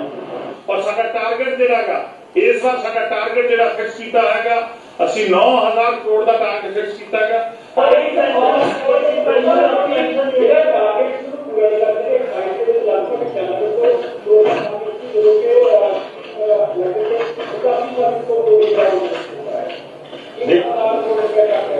ਇੱਕ ਮਿੰਟ ਰੋਕਿਓ ਜੀ। ਮੈਂ ਇਹਦੇ ਚ ਤਿੰਨ ਦੋ ਚੀਜ਼ਾਂ ਹੀ ਤੁਹਾਨੂੰ ਦੱਸਣਾ ਚਾਹ ਰਿਹਾ। ਕਿ ਜਿਹੜੇ ਮੰਤਰੀ ਸਾਹਿਬ ਨੇ 27 ਜੂਨ 2022 ਤੋਂ ਲੈ ਕੇ ਹੁਣ ਤੱਕ ਹਲੇ ਸਾਲ ਨਹੀਂ ਨਾ ਪੂਰਾ ਹੋਇਆ। ਪੰਜ ਸਟੇਟਮੈਂਟਾਂ ਬਦਲ ਗਏ ਆ। ਪਹਿਲਾਂ ਕਹਿੰਦੇ 57% ਇਨਕਰੀਜ਼ ਫੇਰ ਕਹਿੰਦੇ ਜੀ ਨਹੀਂ 37% ਇਨਕਰੀਜ਼ ਫੇਰ ਕਹਿੰਦੇ ਜੀ 45% ਇਨਕਰੀਜ਼ ਅਖੀਰ 'ਚ ਅੱਜ ਕੱਲ ਦੀ ਸਟੇਟਮੈਂਟ ਹੈ ਕਿ 41.36% ਇਨਕਰੀਜ਼ ਔਰ ਜੋ ਬਜਟ ਪ੍ਰੋਵੀਜ਼ਨ ਦਿੱਤਾ ਸੀ, ਉਹਦੇ 'ਚ ਕਿਹਾ ਸੀ ਕਿ 9600 ਕਰੋੜ ਆਊ। ਮਗਰ ਅਸਲੀਅਤ 'ਚ ਕਿੰਨਾ ਆਇਆ? 8800 ਕਰੋੜ। ਉਹ ਅਸਲੀਅਤ ਵੀ ਨਹੀਂ ਹੈ। ਉਸ ਉਹਦਾ ਵੀ ਮੈਂ ਪਰਦਾ ਫਾਸ਼ ਕਰੂੰ ਕਿ ਉਹ ਅਸਲੀਅਤ 'ਚ ਕੀ ਅਸਲੀਅਤ 'ਚ ਉਹ ਹੈ 7916 ਮਤਲਬ ਉਹਦੇ ਚੋਂ ਵੀ 900 ਕਰੋੜ ਘਟਾ ਲਓ। 9600 ਤੋਂ 8800 ਦਿਖਾਇਆ 800 ਦਾ ਠੱਗੀ ਔਰ 800 ਤੋਂ ਅੱਗੇ ਉਹਨੂੰ 88 ਚੋਂ ਚੋਂ 79 ਲਿਆਓ, ਕੋਈ 8-900 ਦੀ ਫੇਰ ਠੱਗੀ ਮਾਰੀ ਉਹ ਮੈਂ ਬਾਅਦ ਚ ਦੱਸ ਦੇਣਾ, ਮਗਰ ਆ ਦੇਖ ਲਿਓ। ਚਲੋ ਜਿੰਨਾ ਟਾਰਗੇਟ ਮਿਲਿਆ ਸੀ, ਬੇਸ਼ੱਕ ਉਹ ਘੱਟ ਪਰ 45% ਇਹ ਕੋਈ ਥੋੜਾ ਵਾਧਾ ਨਹੀਂ ਹੈਗਾ। ਜਿਹੜਾ ਪਿਛਲੇ ਦਾ ਜ਼ਿਕਰ ਕਰਾਂ ਕੱਲੇ ਕੱਲੇ ਦਾ ਤੁਹਾਨੂੰ ਮੈਂ ਦੱਸਦਾ ਕਿ ਪਿਛਲੇ ਸਮੇਂ ਕੀ ਸੀਗਾ? ਇਹਦੇ 45% ਦਾ ਵਾਧਾ ਹੋਇਆਗਾ ਪਿਛਲੀ ਉਹ ਅਸੀਂ 2022 ਤੇ ਦੇ ਵਿੱਚ ਇੰਟਰੋਡਿਊਸ ਕੀਤੀ। ਪੰਜਾਬ ਦੀ ਨਵੀਂ ਐਕਸਾਈਜ਼ ਪਾਲਿਸੀ ਆਉਣ ਦੇ ਨਾਲ ਲਗਭਗ 45% ਦਾ ਵਾਧਾ ਜਿਹੜਾ ਉਹ ਪੰਜਾਬ ਦੇ ਰੈਵਨਿਊ ਦੇ ਵਿੱਚ ਹੋਇਆ। 6000 ਤੋਂ 400 400 ਤੋਂ ਲੈ ਕੇ ਉਹ 9000 ਦੇ ਕਰੀਬ ਕਿਉਂਕਿ ਲਾਸਟ ਦੇ ਕਿਸ ਤਰ੍ਹਾਂ ਹੈ 9000 ਦੇ ਕਰੀਬ ਜਿਹੜਾ ਹੈਗਾ ਰੈਵਨਿਊ ਪੰਜਾਬ ਦਾ ਪਹੁੰਚਿਆ ਤੇ ਨਵੀਂ ਐਕਸਾਈਜ਼ ਪਾਲਿਸੀ ਆਉਣ ਦੇ ਨਾਲ ਇੱਕ ਵੱਡਾ ਅਹ, ਵਾਧਾ ਜਿਹੜਾ ਪੰਜਾਬ ਦੇ ਅੰਦਰ ਹੋਇਆ ਫਿਰ ਜਦੋਂ ਅਸੀਂ ਨਵੀਂ ਪਾਲਿਸੀ ਲੈ ਕੇ ਆਏ ਤਾਂ ਉਹਦੇ ਨਾਲ ਪੰਜਾਬ ਦੇ ਅੰਦਰ ਪਹਿਲੀ ਵਾਰ ਕੀ ਹੋਇਆ ਕਿ ਸਾਡਾ ਰੈਵਨਿਊ ਜਿਹੜਾ ਹੈਗਾ ਉਹ 6254 ਕਰੋੜ ਤੋਂ 6254 ਕਰੋੜ ਤੋਂ ਵੱਧ ਕੇ 8848 ਕਰੋੜ ਰੁਪਏ ਤੇ ਪਹੁੰਚ ਗਿਆ 8848 ਕਰੋੜ ਰੁਪਏ ਤੇ ਪਹੁੰਚ ਗਿਆ ਕਿਉਂਕਿ ਪੰਜਾਬ ਦੇ ਅੰਦਰ ਪਹਿਲੀ ਵਾਰ ਨੇਕ ਨੀਤੀ ਵਾਲੀ ਕੱਟਰ ਇਮਾਨ ਲੋਕਾਂ ਦੀ ਬਣਾਈ ਇੱਕ ਇਮਾਨਦਾਰ। ਕੱਟਰ ਇਮਾਨਦਾਰ। ਸਰਦਾਰ ਭਗਵੰਤ ਸਿੰਘ ਮਾਨ ਜੀ ਦੀ ਅਗਵਾਈ ਦੇ ਅਧੀਨ ਸਰਕਾਰ ਨੇ ਇਮਾਨਦਾਰ ਸਰਕਾਰ ਨੇ ਜੋ ਸ਼ਰਤ ਲਈ ਜਦੋਂ ਪੰਜਾਬ ਦੀ ਬਾਗਡੋਰ ਸੰਭਾਲੀ ਤਾਂ ਲਗਭਗ 41.41 ਮੋਰ ਦੈਨ 41% ਦਾ ਜਿਹੜਾ ਇਨਕਰੀਜ਼ ਆ, ਉਹ ਫਸਟ ਟਾਈਮ ਇਤਿਹਾਸਕ ਤੌਰ ਤੇ ਇਹ ਇਤਿਹਾਸ ਫਸਟ ਟਾਈਮ ਇਤਿਹਾਸਿਕ ਤੌਰ ਤੇ। ਕਹਿੰਦਾ ਮੋਨੋਪੋਲੀ ਸਿਚੁਏਸ਼ਨ ਤੋੜਤੀ 74 ਤੋਂ ਕਰਤੇ 7 L1 ਤੇ ਤੋੜ ਕਿੱਥੋਂ ਦਿੱਤੀ ਤੁਸੀਂ? ਔਰ ਹੁਣ 8800 ਕਰੋੜ ਦਾ ਮੈਂ, ਇਹਦਾ ਹੀ ਬਜਟ ਹੈ ਨਾ ਜੀ, ਇਹ ਤਾਂ ਮੈਂ ਤਾਂ ਨਹੀਂ ਬਣਾਇਆ। ਇਹਦੇ 'ਚ 132 ਨੰਬਰ ਪੈਰੇ 'ਚ ਲਿਖਿਆ new excise policy would be a game changer policy Punjab ਦੇ ਲੋਕਾਂ ਲਈ ਨਹੀਂ ਆਮ ਆਦਮੀ ਪਾਰਟੀ ਦੇ ਖਜ਼ਾਨਾ ਭਰਨ ਵਾਸਤੇ will be a game changer policy which would break monopolies that have developed in this sector over the years. We are hoping an enhancement in our excise revenue to 9648 crore, which would be a whopping increase of 56% over 21-22. ਹੁਣ ਮੈਂ ਇਹਦਾ 2 minute ਦਿਓ। ਤੁਹਾਨੂੰ ਝੂਠ ਕਿਵੇਂ ਬੋਲਿਆ? ਹੱਥ ਦੀ ਸਫ਼ਾਈ ਜਿਹੜੀ ਮੈਂ ਗੱਲ ਕੀਤੀ ਆ ਮਤਲਬ ਇਹਦਾ ਕਿਸੇ ਤੋਂ ਨਹੀਂ ਹੋਣੀ। ਦੇਖੋ ਹਰ ਸਾਲ ਇਸ ਸਾਲ ਵੀ ਹੋਈ ਨਾ ਜੀ ਆ ਐਕਸਾਈਜ਼ ਦੀ ਆਕਸ਼ਨ ਜਿਹੜੀ ਆਕਸ਼ਨ ਹੁੰਦੀ ਹੈ ਜਿਹੜਾ ਲਿਕਰ ਵੈਂਟਸ ਅਗਲੇ ਸਾਲ ਲਈ ਦਿੱਤੇ ਜਾਂਦੇ ਆ ਜਾਂ ਜੋ ਤੁਹਾਡਾ ਐਕਸਪੈਕਟਡ ਮਾਲੀਆ ਸਾਲ ਲਈ ਹੋਣਾ ਹੈ, ਅਗਲੇ ਸਾਲ ਲਈ, ਜਦ ਰੈਵਨਿਊ ਉਹਦੀ 31 ਮਾਰਚ ਤੋਂ ਪਹਿਲਾਂ ਆਕਸ਼ਨਿੰਗ ਕਰ ਰਹੇ ਹੋ, ਤਾਂ ਉਹਦਾ ਰੈਵਨਿਊ ਕੁਝ ਇਸ ਸਾਲ ਚ ਗਿਣਿਆ ਜਾਂਦਾ ਗਿਣਿਆ ਜਾਂਦਾ ਕਿ ਨਹੀਂ ਗਿਣਿਆ ਜਾਂਦਾ? ਜਿੰਨਾ ਤੁਹਾਡੇ ਕੋਲ ਆ ਗਿਆ ਸਪੋਜ਼ ਤੁਸੀਂ 12% ਆ ਗਿਆ 15% ਆ ਗਿਆ, ਉਹ 31 ਮਾਰਚ ਤੋਂ ਜੇ ਪਹਿਲਾਂ ਆ ਗਿਆ 31 ਮਾਰਚ ਤੋਂ ਪਹਿਲਾਂ ਹੀ ਗਿਣਿਆ ਜਾਣਾ। ਮਗਰ 21 22 ਚ ਕੀ ਹੋਇਆ? 21 22 ਚ ਤਾਂ ਪਾਲਿਸੀ ਐਕਸਟੈਂਡ ਕਰਤੀ 3 ਮਹੀਨਿਆਂ ਨਾਲ। ਹੋਈ ਕਿ ਨਹੀਂ ਹੋਈ? ਜੇ ਐਕਸਟੈਂਡ ਹੋ ਗਈ ਤੇ ਮਤਲਬ ਕਿ ਆਕਸ਼ਨਿੰਗ ਨਹੀਂ ਹੋਈ। ਹੁਣ ਹੁਣ ਗੱਲ ਸਮਝ ਆਈ ਜੀ ਕਿ ਜਿਹੜਾ ਆਕਸ਼ਨਿੰਗ ਹੋਈ ਉਹ 3 ਮਹੀਨੇ ਮਗਰੋਂ ਹੋਈ। ਉਹ ਜਾ ਕੇ ਹੋਈ ਜੂਨ, ਜੁਲਾਈ ਚ। ਜੂਨ, ਜੁਲਾਈ ਚ ਜਿਹੜਾ ਫਿਗਰ ਇਕੱਠਾ ਹੋਇਆ ਉਹ ਦਿਨ, ਉਹ 925 ਕਰੋੜ ਰੁਪਈਆ ਲਿਕਰ ਵੈਂਡਸ ਦੇ ਆਕਸ਼ਨ ਚ ਹੋਇਆ, ਜਿਹੜਾ ਅਸਲ ਚ ਐਡ ਹੋਣਾ ਚਾਹੀਦਾ ਸੀ 6254 ਜਿਹੜਾ 6200 ਕਰੋੜ ਉਹ ਕਹਿੰਦੇ ਆ। ਕਿਉਂ? ਹਾਂਜੀ?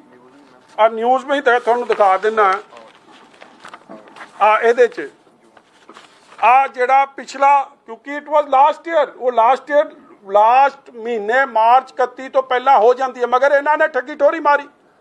ਹੱਥ ਦੀ ਸਫ਼ਾਈ ਵਿਖਾਈ, ਉਹ 925 ਵੀ ਇਸ ਸਾਲ ਚ ਗਿਣ ਲਿਆ। ਔਰ ਜੋ ਇਸ ਸਾਲ ਦੀ 31 ਮਾਰਚ ਚ ਹੋਈ। ਉਹ ਵੀ ਸੁਭਾਵਕ ਹੈ ਇਸ ਸਾਲ ਗਿਣਨਾ ਸੀ। ਜਦ ਤੁਸੀਂ 925 ਉਹ ਜੋੜੋ ਤੇ ਹੁਣ ਵਾਲੇ 726 ਜੋੜੋ ਤੇ ਆਪੇ ਸਿੱਧੇ ਕਿੱਥੇ ਜਾਂਦਾ ਇਨਕਰੀਜ਼?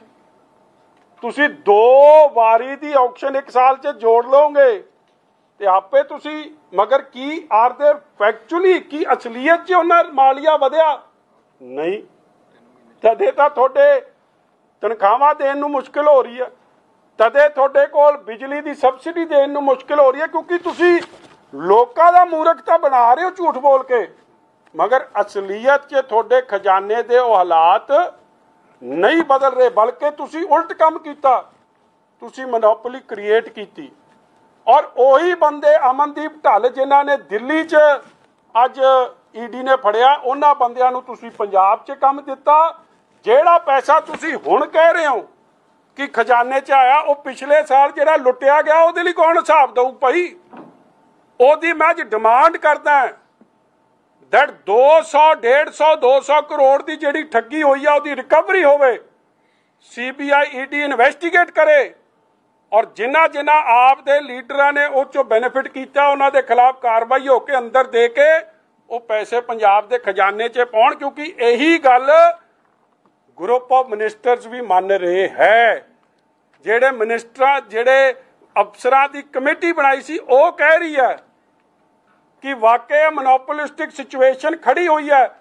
ਸੋ ਚੀਮਾ ਸਾਹਿਬ ਕਿਹੜੀ ਕਹਿ ਰਹੇ ਮੋਨੋਪੋਲੀ ਤੋੜਤੀ? ਉਹ ਕਿਹੜੀ ਮੋਨੋਪੋਲੀ ਤੋੜਨ? ਫਿਰ ਆਹ ਪੇਪਰ ਸੱਚਾ ਕਿ ਜਿਹੜਾ ਟੀਵੀ 'ਚ ਭਾਸ਼ਣ ਸੱਚਾ ਇਹ ਕੈਬਨਿਟ ਤੋਂ ਅਪਰੂਵਡ ਪੇਪਰ ਹੈ। ਵਿਧਾਨ ਸਭਾ 'ਚ ਲੇਡ ਪੇਪਰ ਹੈ। ਕਿ ਤੁਸੀਂ ਵਿਧਾਨ ਸਭਾ 'ਚ ਲੋਕਾਂ ਨੂੰ ਫਿਰ ਮੂਰਖ ਬਣਾ ਰਹੇ ਹੋ? ਇਹ ਤਾਂ ਤੋਹੀਨ ਆਫ ਦਾ ਹਾਊਸ ਵੀ ਹੈ ਕਿ ਸਪੀਕਰ ਸਾਹਿਬ ਦੀ ਰੀੜ ਦੀ ਹੱਡੀ 'ਚ ਇੰਨਾ ਦਮ ਹੈ ਕਿ ਉਹ ਇੱਥੇ ਐਕਸ਼ਨ ਲੈਣਗੇ for misleading for lying to the people of Punjab?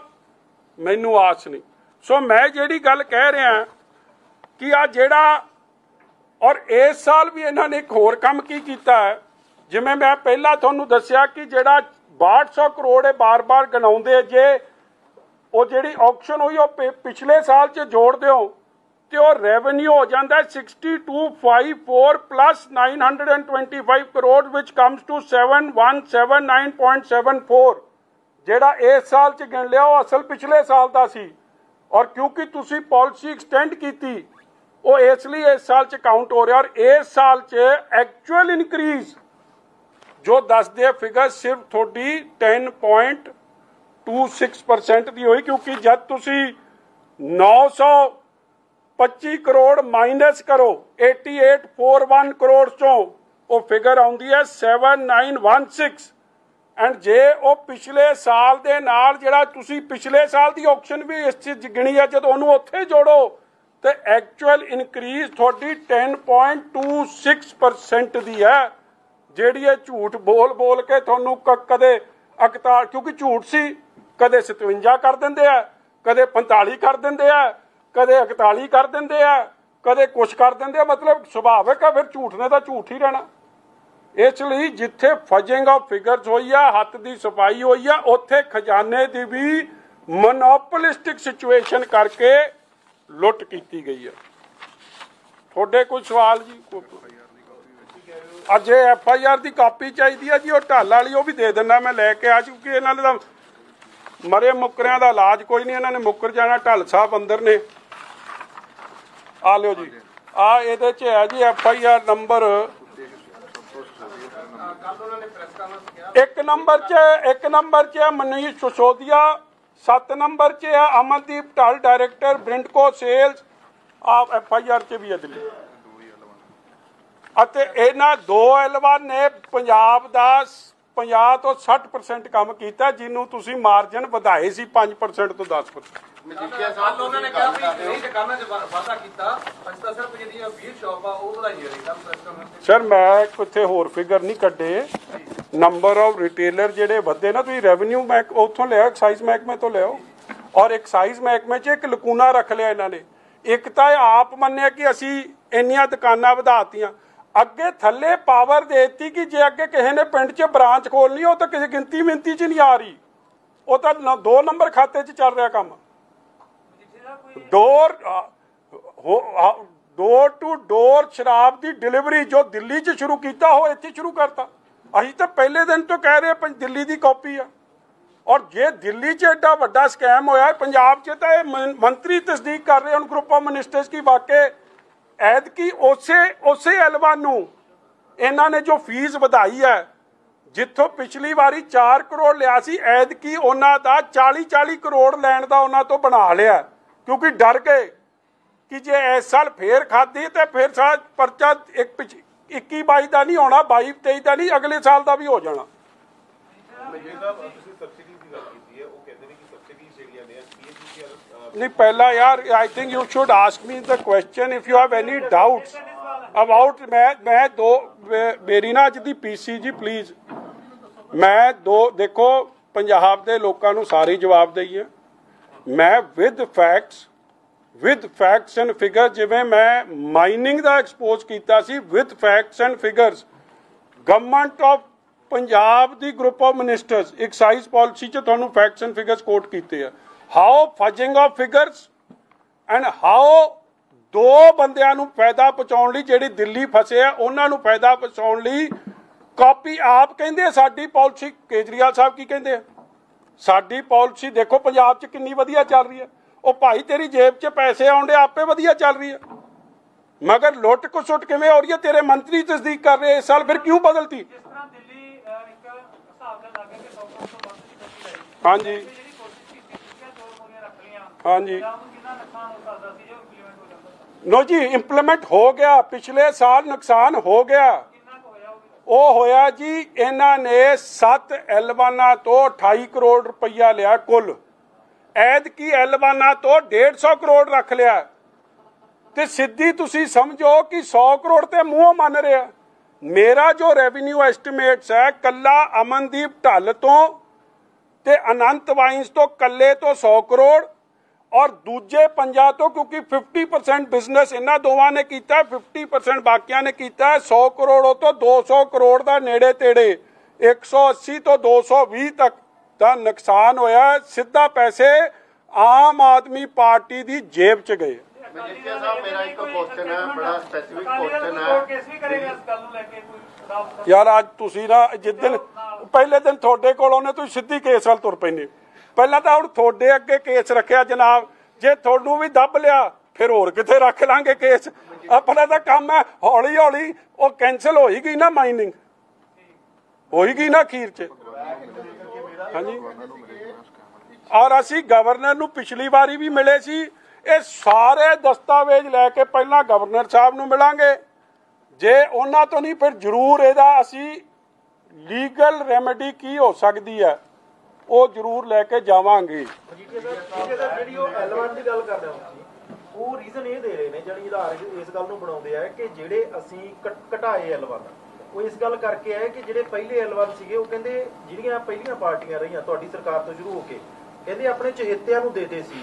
ਹੁਣ ਕਹਿੰਦੇ ਇਸ ਗੱਲ ਦੀ ਤਕਲੀਫ ਹੈ ਇਹਨਾਂ ਪਾਰਟੀਆਂ ਨੂੰ ਕਿ ਜਿਹੜੇ ਉਹਨਾਂ ਦੇ ਚਹੇਤਿਆਂ ਤੋਂ ਅਸੀਂ ਕੰਮ ਵਾਪਸ ਲੈ ਕੇ ਅਸੀਂ ਜੈਨੂਅਨ ਸੱਤ ਕੁ ਬੰਦੇ ਬ੍ਰਦਰ। ਉਹ ਤਾਂ ਕੀ ਕਹਿੰਦੇ ਨਹੀਂ ਕਹਿੰਦੇ ਨਾ ਉਹਨਾਂ ਤੇ ਨਾ ਜਾ ਤੈਨੂੰ ਆਪਦੀ ਕਾਮਨ ਸੈਂਸ ਵਰਤ ਲੈ। ਕਿੰਨੇ ਜ਼ਿਲ੍ਹੇ ਆ? 23 ਪਹਿਲਾਂ 74 ਸੀ ਹੁਣ 7 ਹੋ ਗਏ। ਇਹਨੂੰ ਤੁਸੀਂ ਮੋਨੋਪੋਲੀ ਕਹੋਗੇ ਕਿ ਨਹੀਂ ਕਹੋਗੇ? ਤੇ ਮੇਰੀ ਗੱਲ ਛੱਡੋ ਫਿਰ ਤੁਸੀਂ ਨਾ ਅਸਲ 'ਚ ਤੇਰੀ ਮੇਰੀ ਚਨਾਪ ਹੈ ਤੇਰੀ ਤੇਰੀ ਕੱਲੀ ਗੱਲ ਕਰ, ਇਹਨਾਂ ਦਾ ਮੰਤ ਇਹਨਾਂ ਦਾ ਅਫਸਰ ਕੀ ਲਿਖ ਰਿਹਾ? ਕਿ ਇਹਦੇ ਨਾਲ ਤਾਂ ਜੀ ਮੋਨੋਪੋਲਿਸਟਿਕ ਸਿਚੁਏਸ਼ਨ ਹੋ ਰਹੀ ਹੈ? ਮੈਂ ਤਾਂ ਨਹੀਂ ਲਿਖ ਰਿਹਾ ਇਹ।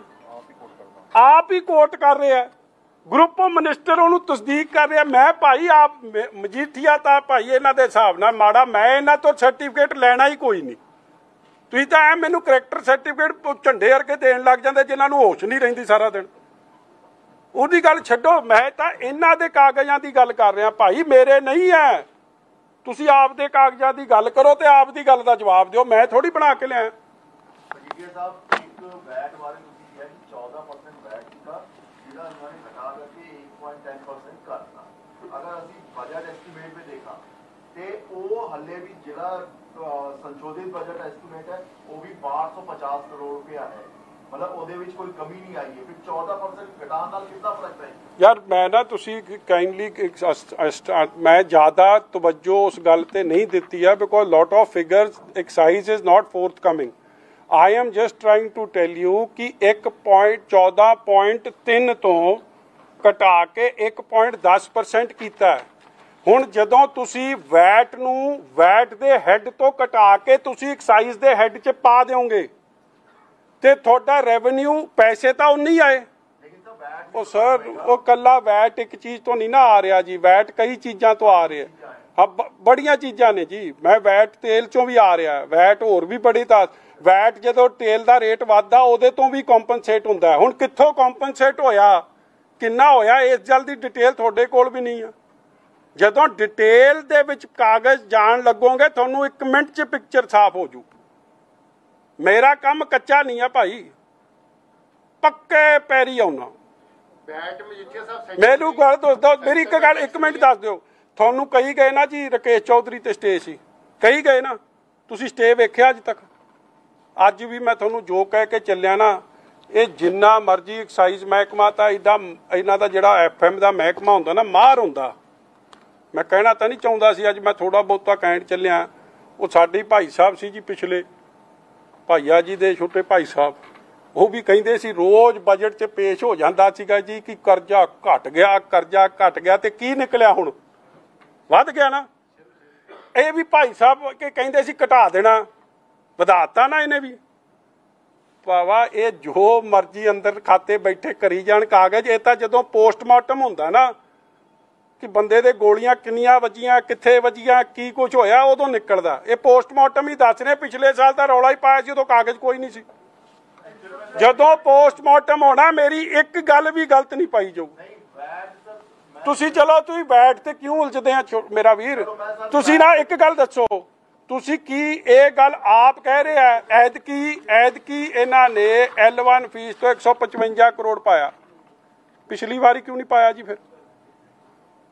ਕਿਉਂ ਨਹੀਂ ਪਾਇਆ ਇਹ ਉਦੋਂ ਪਾਇਆ ਜਦੋਂ ਸਸੋਦੀਆ ਅੰਦਰ ਦੇਤਾ ਤੇ ਇੱਧਰ ਪਾਤਾ ਕਿ ਹੁਣ ਸਾਨੂੰ ਨਹੀਂ ਚਾਹੀਦਾ ਇਹ ਮਾੜੇ ਪੈਸੇ ਐ ਇਹ ਤੇ ਪਰਚਾ ਹੋ ਜਾਣਾ ਇਹ ਪਹਿਲਾਂ ਨਾ ਪਤਾ ਲੱਗਿਆ ਪਹਿਲੀ ਪਾਲਿਸੀ ਕਿਹਨੇ ਬਣਾਈ ਹੈ this is on liquor yes yes yes that's what i'm saying he's taking collective VAT i'm talking only on liquor sir i, I you know uh, gurpreet gurpreet ji i am talking on a larger picture i have made the larger points clear VAT is a very small point on it it's just used for fudging of figures They- when he says it's a 41.36% increase factually it is not ਦੇਖੋ as end of the day as a state ਤੁਸੀਂ ਵੀ ਚਾਹੁੰਦੇ ਹੋ ਤੁਹਾਡੇ ਰੈਵਨਿਊਜ਼ ਵਧਣ ਮਗਰ ਕੀ ਅਸਲੀਅਤ ਕੀ ਆ ਪੰਜਾਬ ਦੇ ਲੋਕਾਂ ਨੂੰ ਇਹ ਤਾਂ ਹੱਕ ਹੈ ਨਾ ਜਾਣਨ ਦਾ ਕਿ ਵੱਧ ਵੀ ਰਹੀ ਹੈ ਕਿ ਨਹੀਂ ਵੱਧ ਰਹੀ ਇਹ ਬੋਲ ਰਿਹਾ ਸੀ, ਬੜਾ ਚੋਰੀ ਰੋਕਤੀ ਜੀ, ਮੋਨੋਪੋਲੀ ਰੋਕਤੀ, ਮੋਨੋਪੋਲੀ ਤਾਂ ਵਧਾਤੀ।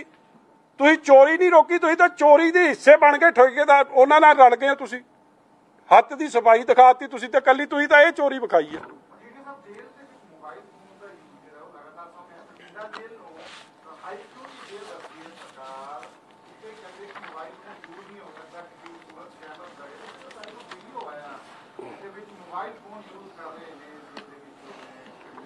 ਯਾ, ਤੁਹਾਡੇ ਕੋਲ ਤਾਂ ਬਹੁਤ ਕੁਝ ਆ ਗਿਆ।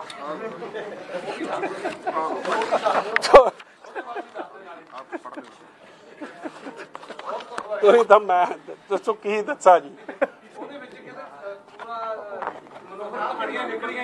ਮੈਂ ਨਾ ਤੁਹਾਨੂੰ ਉਹ ਯਾਰ ਤੁਸੀਂ ਇਹ ਨਾ ਛੇੜੋ, ਫਿਰ ਤੁਸੀਂ ਇਹੀ ਖਬਰ ਚਲਾ ਦੇਣੀ, ਮੇਰੀ ਉਹ ਮਾਰ ਦੇਣੀ ਹੈ। ਇਹ ਤਾਂ ਇੱਕ ਸੈਪਰੇਟ ਟੌਪਿਕ ਹੈ ਮੈਂ ਇੰਨੇ ਦਿਨ ਨਹੀਂ ਬੋਲਿਆ, ਦੋ ਤਿੰਨ ਮੁੱਦਿਆਂ ਤੇ। ਮੈਨੂੰ ਕਿਹੜਾ ਨਹੀਂ ਬੋਲਣਾ ਆਉਂਦਾ? ਮੈਂ ਹਲੇ ਵੇਖ ਰਿਹਾ, ਹਲੇ ਪਿਕਚਰ ਬਾਕੀ ਆ। ਹਲੇ ਤਾਂ ਤੁਸੀਂ ਵੇਖੋ ਹਲੇ।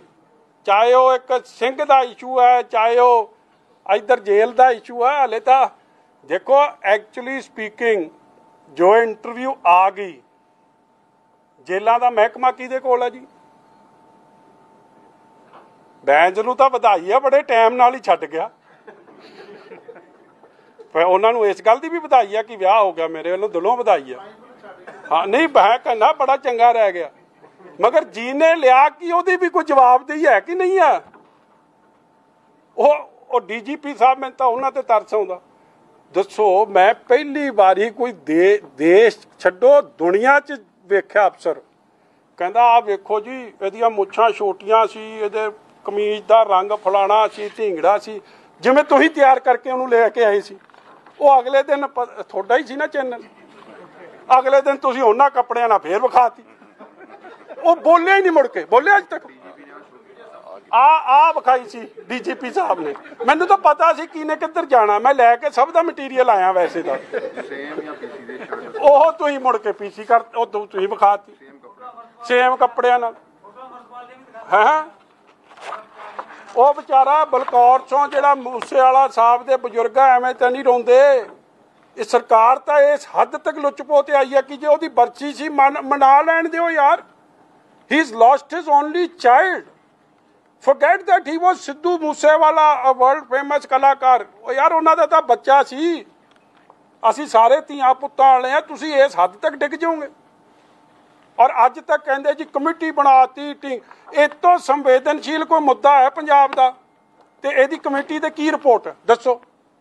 ਆਈ ਰਿਪੋਰਟ ਮਹੀਨੇ ਤੋਂ ਵੱਧ ਹੋ ਗਿਆ। ਇਹ ਤੋਂ ਹੀ ਪਤਾ ਲੱਗਦਾ ਇਹਨਾਂ ਦੀ ਨੀਅਤ ਕੀ ਹੈ। ਮੈਨੂੰ ਲੱਗਦਾ ਉਹ ਜਿੰਨਾ ਜਿੰਨਾ ਕਿਹਾ ਸੀ ਕਿ ਉਹਦੀ ਦਾੜੀ ਲੰਮੀ ਆ ਮੁੱਛ ਲੰਮੀ ਆ ਇਹੀ ਕੁਝ ਕਰਦੇ ਸੀ ਨਾ ਡੀਜੀਪੀ ਸਾਹਿਬ। ਇਹ ਤਾਂ ਉਹਨਾਂ ਨੂੰ ਵੀ ਥੋੜਾ ਬਹੁਤੀ ਮੈਂ ਤਾਂ ਬੜਾ ਸਿਆਣਾ ਸਮਝਦਾ ਸੀ।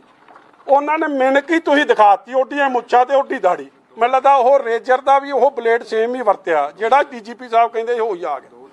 ਦੱਸੋ ਕੀ ਕਰੋਗੇ? ਦੋ ਦਿਨ ਚ ਹੋ ਗਈਆਂ ਏਡੀ ਏਡੀਆਂ ਮੁੱਛਾਂ? ਸ਼ਰਮ ਹੀ ਕੋਈ ਨਹੀਂ ਯਾਰ। ਆ ਮੈਂ ਇੱਕ- ਇੱਕ ਵੀਡੀਓ ਵਿਖਾਉਣੀ ਹੈ ਕਿਉਂਕਿ ਹੁਣ ਤੁਸੀਂ ਛੇੜ ਹੀ ਲਿਆ। ਆਹ ਕਿਸਾਨਾਂ ਦੀ ਗੱਲ ਮੈਂ ਕਰਨਾ ਚਾਹੁੰਦਾ ਸੀ ਮਗਰ ਮੈਂ ਸੋਚਿਆ ਇਹਦਾ ਫੋਰਮ ਵੱਖਰਾ ਰੱਖੂੰਗਾ ਮੈਂ ਆਪਦੇ ਹਲਕੇ 'ਚ ਵੀ ਜਾ ਕੇ ਆਇਆ। ਵੇਖੋ ਹਰ ਗੱਲ ਤੇ ਝੂਠ। ਲਾਅ ਐਂਡ ਆਰਡਰ ਤੇ ਝੂਠ ਐਕਸਾਈਜ਼ ਤੇ ਝੂਠ। ਮੁਲਾਜ਼ਮਾਂ ਨਾਲ ਝੂਠ ਵਪਾਰੀ ਨਾਲ ਝੂਠ ਮਤਲਬ ਨਿਰੇ ਕੱਟਰ ਝੂਠੇ ਆ ਆ ਕਿਸਾਨਾਂ ਨਾਲ ਆ ਮੈਂ ਕਿਹੜੀ ਤਰੀਕ ਦੀ ਵੀਡੀਓ ਆ ਫੇਰ ਸੁਣਾ ਇਹਨੂੰ ਤਾਂ ਚੰਗੀ ਤਰ੍ਹਾਂ ਸੁਣਾਇਆ ਕਰ ਇਹ ਤਾਂ ਨਿਰਾ ਨਟਵਰ ਲਾ ਲੈਣਾ ਇਹਨਾਂ ਦਾ मार्च के महीने में नतीजे आ जाएंगे 28 अक्टूबर ਦੀ ਹੈ एक अप्रैल के बाद से ਹਾਂ। पंजाब के अंदर किसी किसान को खुदकुशी नहीं करने देंगे हम लोग ਜਾਓ ਆਪਦੇ ਦਿਲ ਤੇ ਹੱਥ ਰੱਖ ਕੇ ਦੱਸੋ ਕਿ ਕਿਸਾਨ ਖੁਦਕੁਸ਼ੀ ਰੋਕੀ ਜੀ? ਇਹਨਾਂ ਨੇ ਸਿਆਸਤ ਕੀਤੀ ਹੈ ਇਸ ਗੱਲ ਤੇ। ਔਰ ਅੱਜ ਵੀ ਸਿਆਸਤ ਚੱਲ ਰਹੀ ਹੈ। ਕਹਿੰਦਾ ਜੀ, ਵਿਸਾਖੀ ਤੋਂ ਪਹਿਲਾਂ ਦੇ ਦਾਂ, ਮੇਰੇ ਹਲਕੇ 'ਚ ਤਾਂ ਗਰਦਾਵਰੀ ਨਹੀਂ ਹੋਈ ਜੀ ਹਲੇ ਤੱਕ। Sir today's newspaper has reported on March 26 ਅੱਜ ਬਦਲਤਾ ਹੋਣਾ ਘੰਟਾ ਪਹਿਲਾਂ I cannot ਅੱਜ ਸਰ, ਮੈਂ ਐਜ ਵੀ ਸਪੀਕ ਨਾ, ਮੈਂ ਦੇਖੋ ਟਾਈਮ ਦੱਸ ਦੇਣਾ 4 ਵੱਜ ਕੇ 11 minute 7 April as we speak ਜੇ ਇੱਕ ਨੂੰ ਵੀ ਮੁਆਵਜ਼ਾ ਮਿਲਿਆ ਹੋਵੇ। ਅਗਲੀ ਵੀ ਸੁਣ ਲਿਓ। ਅਗ- ਦੀ ਵੀ ਗੱਲ ਸੁਣ ਲਿਆ ਇਹ ਤਾਂ ਉਤੋਂ ਵੀ ਗਾਂ ਦੀ ਆ, ਝੰਡੇ ਦੀ। ਸ਼੍ਰੀ ਅਰਵਿੰਦ ਕੇਜਰੀਵਾਲ ਜੀ ਨੇ ਆ 31 ਜਨਵਰੀ ਦੀ ਹੈ 22 ਦੀ। ਜਿਹੜੀ ਬੇਮੌਸਮੀ ਬਰਸਾਤ ਹੋ ਗਈ ਸੀ ਫਸਲਾਂ ਮਰ ਗਈਆਂ ਸੀ ਦਿੱਲੀ 'ਚ। ਜੋ ਕੇਜਰੀਵਾਲ ਸਾਹਿਬ ਪਿਛਲੇ 7 ਸਾਲ ਤੋਂ ਕਰਦੇ ਆ ਰਹੇ ਨੇ ਉਹਦੇ ਮੁਤਾਬਕ 20000 ਰੁਪਇਆ ਪਰ ਏਕੜ। ਜਿਹੜੇ ਚੈੱਕ ਨੇ ਅੱਜ ਉਹ ਦਿੱਤੇ ਨੇ ਯਾਨੀ ਕਿ 50000 ਰੁਪਇਆ ਪਰ ਹੈਕਟੇਅਰ ਹਟਿਆ ਬਿਲਕੁਲ ਸੇਮ ਪੰਜਾਬ ਲਾਗੂ ਹੋਊਗਾ। ਕੋਈ ਗਰਦੌਰੀ ਜਾਂ ਪਟਵਾਰੀ ਤੋਂ ਉਹ ਬਾਅਦ ਚ ਲਾਉਂਦੇ ਰਹਿਣਗੇ ਅੰਦਾਜ਼ੇ ਨੁਕਸਾਨ ਕਿੰਨਾ ਹੋਇਆ। ਆ ਪਲੀਜ਼ ਸੁਣਿਓ ਜੀ ਆ please listen to this carefully ਆ ਚਲਾਈ ਫਿਰ ਆ। ਆ ਕੀ ਕਹਿੰਦਾ ਗਰਦਾਵਰੀ ਬਾਅਦ ਕੇਜਰੀਵਾਲ ਸਾਹਿਬ ਪਿਛਲੇ 7 ਸਾਲ ਤੋਂ ਕਰਦੇ ਆ ਰਹੇ ਨੇ। ਉਹਦੇ ਮੁਤਾਬਕ 20000 ਰੁਪਇਆ ਪਰ ਏਕੜ ਜਿਹੜੇ ਚੈੱਕ ਨੇ ਅੱਜ ਉਹ ਦਿੱਤੇ ਨੇ। ਯਾਨੀ ਕਿ 50000 ਰੁਪਇਆ ਪਰ ਹੈਕਟੇਅਰ ਬਿਲਕੁਲ ਸੇਮ ਪੰਜਾਬ 'ਚ ਲਾਗੂ ਹੋਊਗਾ। ਕੋਈ ਗਰਦੌਰੀ ਜਾਂ ਪਟਵਾਰੀ ਤੋਂ ਉਹ ਬਾਅਦ ਚ ਲਾਉਂਦੇ ਰਹਿਣਗੇ ਅੰਦਾਜ਼ੇ ਨੁਕਸਾਨ ਕਿੰਨਾ ਹੋਇਆ। ਇੱਕ ਵਾਰੀ ਇਹ ਪੁੱਛ ਲਿਆ ਜਾਊਗਾ ਪਹਿਲਾਂ ਕਿ ਕਿੰਨੀ ਦੀ ਫਸਲ ਆਉਣੀ ਸੀ। ਇੱਕ ਵਾਰੀ ਉਹ ਪੈਸੇ ਦਿਓ। ਉਹਦੀ ਘਰ ਦੀ ਕਬੀਲਦਾਰੀ ਚੱਲੇ। ਗਰਦੌਰੀਆਂ ਗਰਦੌਰੀਆਂ ਬਾਅਦ ਚ ਹੁੰਦੀਆਂ ਰਹਿਣਗੀਆਂ ਇੱਥੇ। ਕੀ ਕਹਿੰਦਾ ਜੀ? ਟੂ ਆਨਸਰ ਯਰ ਕੁਐਸਚਨ 20000 ਰੁਪਇਆ ਆ ਇਹਨਾਂ ਦਾ ਚੋਣ ਮੈਨੀਫੈਸਟੋ ਹੈ farmer and farm labourers Last point, I'm making up cross loss. Compensation of rupees 20,000 per acre for crop loss due to drought, floods, pest attack, unseasonal rain, etc. would be given. ਮੈਂ ਤਾਂ ਬੇਨਤੀ ਕਰਦਾ CM ਸਾਹਿਬ ਨੂੰ ਕਿ CM ਸਾਹਿਬ ਤੁਸੀਂ Delhi model ਦੀ ਬਾਰ-ਬਾਰ ਗੱਲ ਕਰਦੇ ਹੋ ਪੰਜਾਬ ਦਾ ਮਾਡਲ ਤਾਂ ਭਾਵੇਂ ਕਿਸਾਨ 50000 ਰੁਪਏ ਮੰਗ ਰਿਹਾ ਕਿੱਲੇ ਦਾ ਕਿਉਂ ਮੰਗ ਰਿਹਾ ਕਿਉਂਕਿ ਬੇਮੌਸਮੀ ਬਰਸਾਤ ਕਰਕੇ ਹਵਾ ਕਰਕੇ ਵਾਟਰ ਉੱਥੇ ਪਾਣੀ ਜਿਹੜਾ ਖਲੋ ਗਿਆ ਉਹਦੇ ਕਰਕੇ ਉਹਨਾਂ ਦੀ ਤਾਂ ਫਸਲ ਕਾਲੀ ਪੈ ਗਈ ਹੈ ਬਿਲਕੁਲ। ਖਤਮ ਹੋ ਗਈ ਹੈ, ਦਾਣੇ ਰਹਿ ਹੀ ਨਹੀਂ ਗਏ, ਨੌ ਦੇ ਦਾਣੇ ਨੇ। ਕੋਈ ਕੰਮ ਦੇ ਨਹੀਂ ਉਹਨੂੰ। ਉਹ 50000 ਰੁਪਈਆ ਮੰਗ ਰਿਹਾ, ਮੈਂ ਕਹਿੰਦਾ 50000 ਤਾਂ ਤੁਸੀਂ ਦੇਣਾ ਨਹੀਂ, ਤੁਸੀਂ ਜੋ ਵਾਅਦਾ ਕੀਤਾ ਦਿੱਲੀ ਮਾਡਲ 20000 ਹੀ ਦੇ ਦਿਓ। ਔਰ ਤੁਸੀਂ ਕਿਹਾ ਸੀ ਗਿਰਦਾਵਰੀ ਮਗਰੋਂ ਹੁੰਦੀ ਰਹੂ। ਤੇ ਹੁਣ ਕੀ ਹੋ ਗਿਆ? 22 ਜਨਵਰੀ ਚ ਕਿਹਾ ਸੀ। ਅੱਜ ਕਹਿੰਦੇ ਪਹਿਲਾਂ ਗਦਾਵਰੀ ਹੋ ਲੈਣ ਤੇ ਗਦਾਵਰੀ ਮੇਰੇ ਹਲਕੇ 'ਚ ਜੀ ਗਿਰਦੌਰੀ ਸ਼ੁਰੂ ਨਹੀਂ ਹੋਈ। ਮੈਂ ਕਿੰਨੇ ਹਲਕੇ ਗਣਾ ਸਕਦਾ ਜਿੱਥੇ ਐਨ ਵਿਸ਼ੀ ਪਈਆ ਕਣਕ। ਤੇ ਹਲੇ ਤੱਕ ਕੋਈ ਪਹੁੰਚਿਆ ਨਹੀਂ ਉੱਥੇ ਕਰਨ। ਔਰ ਵਾਕਈ ਕਿਸਾਨ ਨੇ ਗੱਲ ਸਹੀ ਕਹੀ, ਕਹਿੰਦਾ ਜਦੋਂ ਕੋਈ ਇਹਨੂੰ ਸਾੜਦਾ ਸੀ ਰਹਿਣ ਖੂਨ ਨੂੰ, ਉਦੋਂ ਤਾਂ ਤੁਸੀਂ ਸੈਟੇਲਾਈਟ ਤੋਂ ਫੜ ਲੈਂਦੇ ਸੀ। ਤੇ ਸਾਡੀ ਹੁਣ ਮੁਆਵਜ਼ਾ ਦੇਣ ਵੇਲੇ ਤੁਹਾਡੀ ਸੈਟੇਲਾਈਟ ਨੂੰ ਕੀ ਟੈਗ ਲੱਗ ਗਿਆ ਇਹਦੇ ਸੈਟੇਲਾਈਟ ਨੂੰ? ਕੀ ਹੋ ਗਿਆ? ਵੱਧ ਪੀਤੀ ਗਈ ਹੈ, ਸੈਟੇਲਾਈਟ ਕੋਲੋਂ ਜਿਹੜੀ ਹੁਣ ਨਹੀਂ ਚੱਲਦੀ ਹੈ ਚਲਾ ਦਿਓ। ਕਰੋ ਕਿਸਾਨਾਂ ਦੇ ਹੱਕ ਦੀ ਗੱਲ। ਕਿਸਾਨ ਤੁਹਾਨੂੰ ਹੱਥਾਂ ਤੇ ਚੱਕਣਗੇ, ਸਾਨੂੰ ਵੀ ਕਹਿਣਾ ਪੈਣਾ, ਵਾਕਈ ਸਰਕਾਰ ਕਿਸਾਨਾਂ ਦੀ। ਮਗਰ ਨੀਅਤ ਹੋਵੇ ਨਾ ਜੀ। ਅੱਛਾ ਉਹ ਸੱਚ।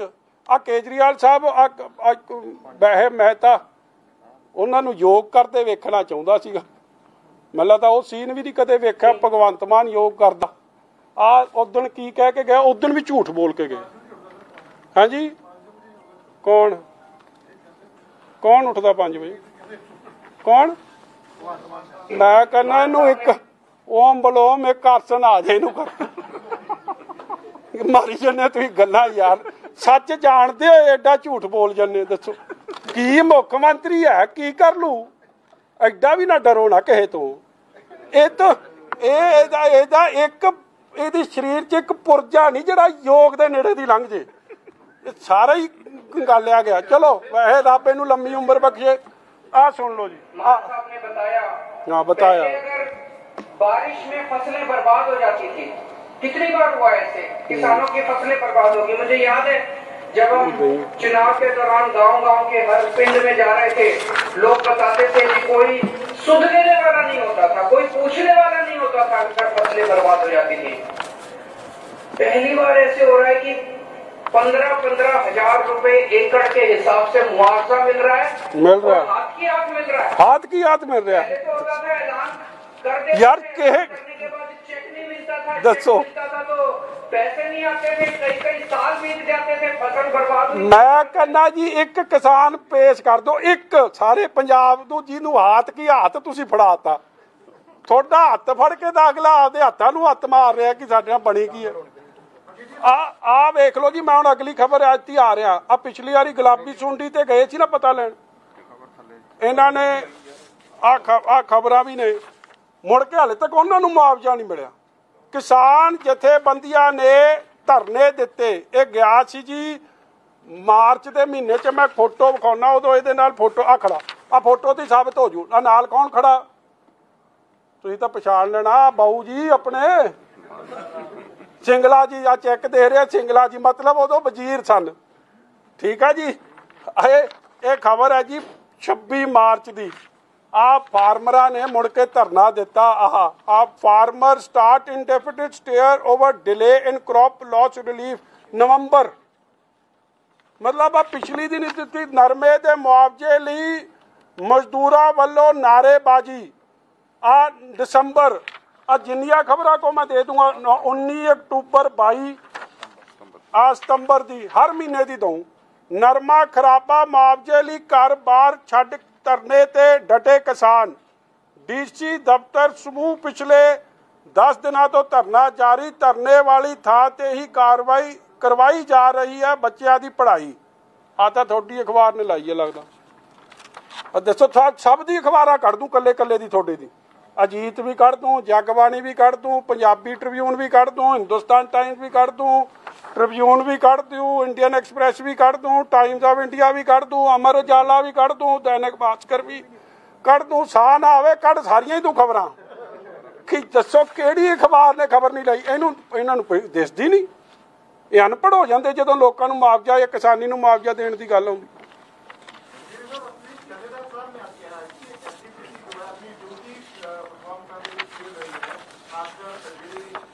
ਸਿੱਖ ਰਾਜ ਦੇ ਜਿਹੜੇ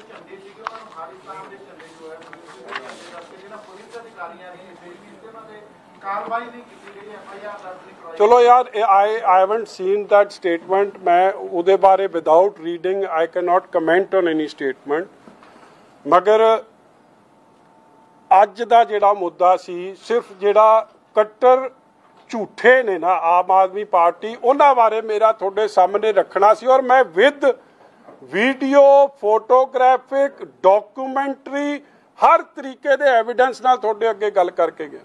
ਔਰ ਮੈਂ ਇੱਕ ਗੱਲ ਫੇਰ ਅੱਜ ਅਪੀਲ ਕਰਦਾ ਸੀਐਮ ਸਾਹਿਬ ਨੂੰ ਕਿ ਸੀਐਮ ਸਾਹਿਬ, ਤੁਹਾਡੇ ਤੋਂ ਲਾਅ ਐਂਡ ਆਰਡਰ ਕੰਟਰੋਲ ਨਹੀਂ ਹੁੰਦਾ।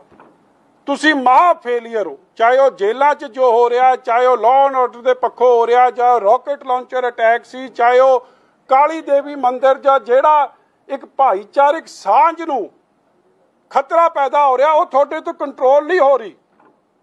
ਮਗਰ ਤੁਹਾਡਾ ਉਸ ਨੂੰ ਨਜਿੱਠਣ ਦਾ ਤਰੀਕਾ ਵੇਖੋ ਕਿਹੜਾ ਅਪਣਾਇਆ ਤੁਸੀਂ। ਕਿ ਇਹ ਜਨਾਲੇ ਦੀ ਇੱਕ incident C purely law and order incident ਤੁਸੀਂ ਅੱਜ ਐਨਐਸਏ ਲਾਤੀ ਸਭ ਤੇ। ਕੀ ਇਹ ਜਾਇਜ਼ ਹੈ? ਤੁਸੀਂ ਪੰਜਾਬੀਆਂ ਨੂੰ ਪੇਂਟ ਕਰਤਾ, ਤੁਸੀਂ ਨਾਲ ਰਲੇ ਇਸ ਕੰਮ 'ਚ। ਕੀ ਐਂਟੀ ਨੈਸ਼ਨਲ ਹੈ? ਜਦ ਕਿ ਪੰਜਾਬੀ ਤਾਂ ਸਭ ਤੋਂ ਵੱਧ ਕੁਰਬਾਨੀ ਦੇਣ ਵਾਲੀ ਔਰ ਸਭ ਤੋਂ ਵੱਧ ਇਹ ਦੇਸ਼ ਦੇ ਲਈ ਮਰਨ ਵਾਲੀ ਕੌਮ ਹੈ। ਆ ਗਲਵਾਨ ਬੀਇੰਗ ਦ ਲੇਟੈਸਟ 18 18 16 16 ਸਾਲ ਦੇ ਬੱਚੇ, ਕਿਸੇ ਜਗ੍ਹਾ ਤੇ ਤਾਂ ਸ਼ਰਮ ਕਰ ਲਓ। ਸਹੀ ਕਾਰਵਾਈ ਨੂੰ ਸਹੀ ਕਵਾਂਗੇ, ਗਲਤ ਨੂੰ ਗਲਤ ਹੀ ਕਵਾਂਗੇ। ਮਜੀਠੀਆ ਸਾਹਿਬ, ਮੇਰਾ ਇੱਕ ਕੁਐਸਚਨ ਹੈ। ਮਜੀਠੀਆ ਸਾਹਿਬ, ਜਿੱਦਾਂ ਤੁਸੀਂ ਕਿਹਾ, ਦਿੱਲੀ 'ਚ ਜਿੱਦਾਂ ਇਹਨੂੰ ਪੁੱਛ ਲਓ, ਝੰਡੇ ਨੂੰ ਪਤਾ ਹੀ ਹੋਣਾ। ਇਹ ਤਾਂ ਕਹਿੰਦਾ ਮੈਨੂੰ ਕੀੜੀ ਜਾਂਦੀ ਦਾ ਪਤਾ। ਹਾਂਜੀ। ਚਲੋ, ਅੱਜ ਮੈਂ ਇਹ ਗੱਲ ਆ, ਇਹ ਮੇਰਾ ਵੱਖਰਾ ਟੌਪਿਕ ਹੈ ਇਹ ਮੈਂ ਤੁਹਾਨੂੰ ਗੱਲ ਵੱਖਰੀ ਕਰੂੰਗਾ, ਠੋਕ ਕੇ ਕਰੂੰਗਾ, ਜਿਸ ਦਿਨ ਕਰੂੰਗਾ। ਮਜੀਠੀਆ ਨੂੰ ਯਾਦ ਹੈ ਕੀ ਆਖਿਆ ਸੀ? ਮਹੀਨੇ, ਦੋ ਮਹੀਨੇ ਪਹਿਲਾਂ ਇਹ ਮਗਰੋਂ ਕਰ ਲੂੰ ਅੱਜ ਇਸ ਮੁੱਦੇ ਤੇ ਜਿੰਨੀ ਮੈਂ ਗੱਲ ਕਰਤੀ, ਓਨੀ ਹੈ। Thank you very much Bajwa Sahib ਦਾ ਸਭ ਦਾ ਧੰਨਵਾਦ। ਹਾਂਜੀ। ਆ ਚਲੋ ਆ ਸੁਣ ਲਓ ਆ ਤਾਂ ਸਭ ਤੋਂ ਵਧੀਆ। ਇਹਨੂੰ ਵਿਖਾ ਦੀ ਭਾਈ। ਆ ਤੁਹਾਡੇ ਤੋਂ ਹੁਣ ਆਖੇ ਕਿਸੇ ਦੇ ਲੱਗਦਾ ਨਹੀਂ ਵੈਸੇ ਦਿਖਾ। ਆ ਸੁਣ ਲਿਓ। ਕਿ ਜੇ ਕਿਸੇ ਫਸਲ ਨੂੰ ਬੀਜ ਬੀਜਣ ਤੋਂ ਲੈ ਕੇ ਮੰਡੀ ਤੱਕ ਪਹੁੰਚਾਉਣ ਤੱਕ 100 ਰੁਪਏ ਖਰਚਾ ਹੁੰਦਾ ਤਾਂ ਉਹ 200 ਰੁਪਏ ਮਿਲਣਾ ਚਾਹੀਦਾ ਜੇ 10000 ਰੁਪਏ ਖਰਚਾ ਤਾਂ 15000 ਰੁਪਏ ਦਾ ਮਿਲਣਾ ਚਾਹੀਦਾ ਠੀਕ ਹੈ ਨਾ? ਇਹ ਤਾਂ ਲਾਗੂ ਨਹੀਂ ਕੀਤੀ ਮੋਦੀ ਨੇ।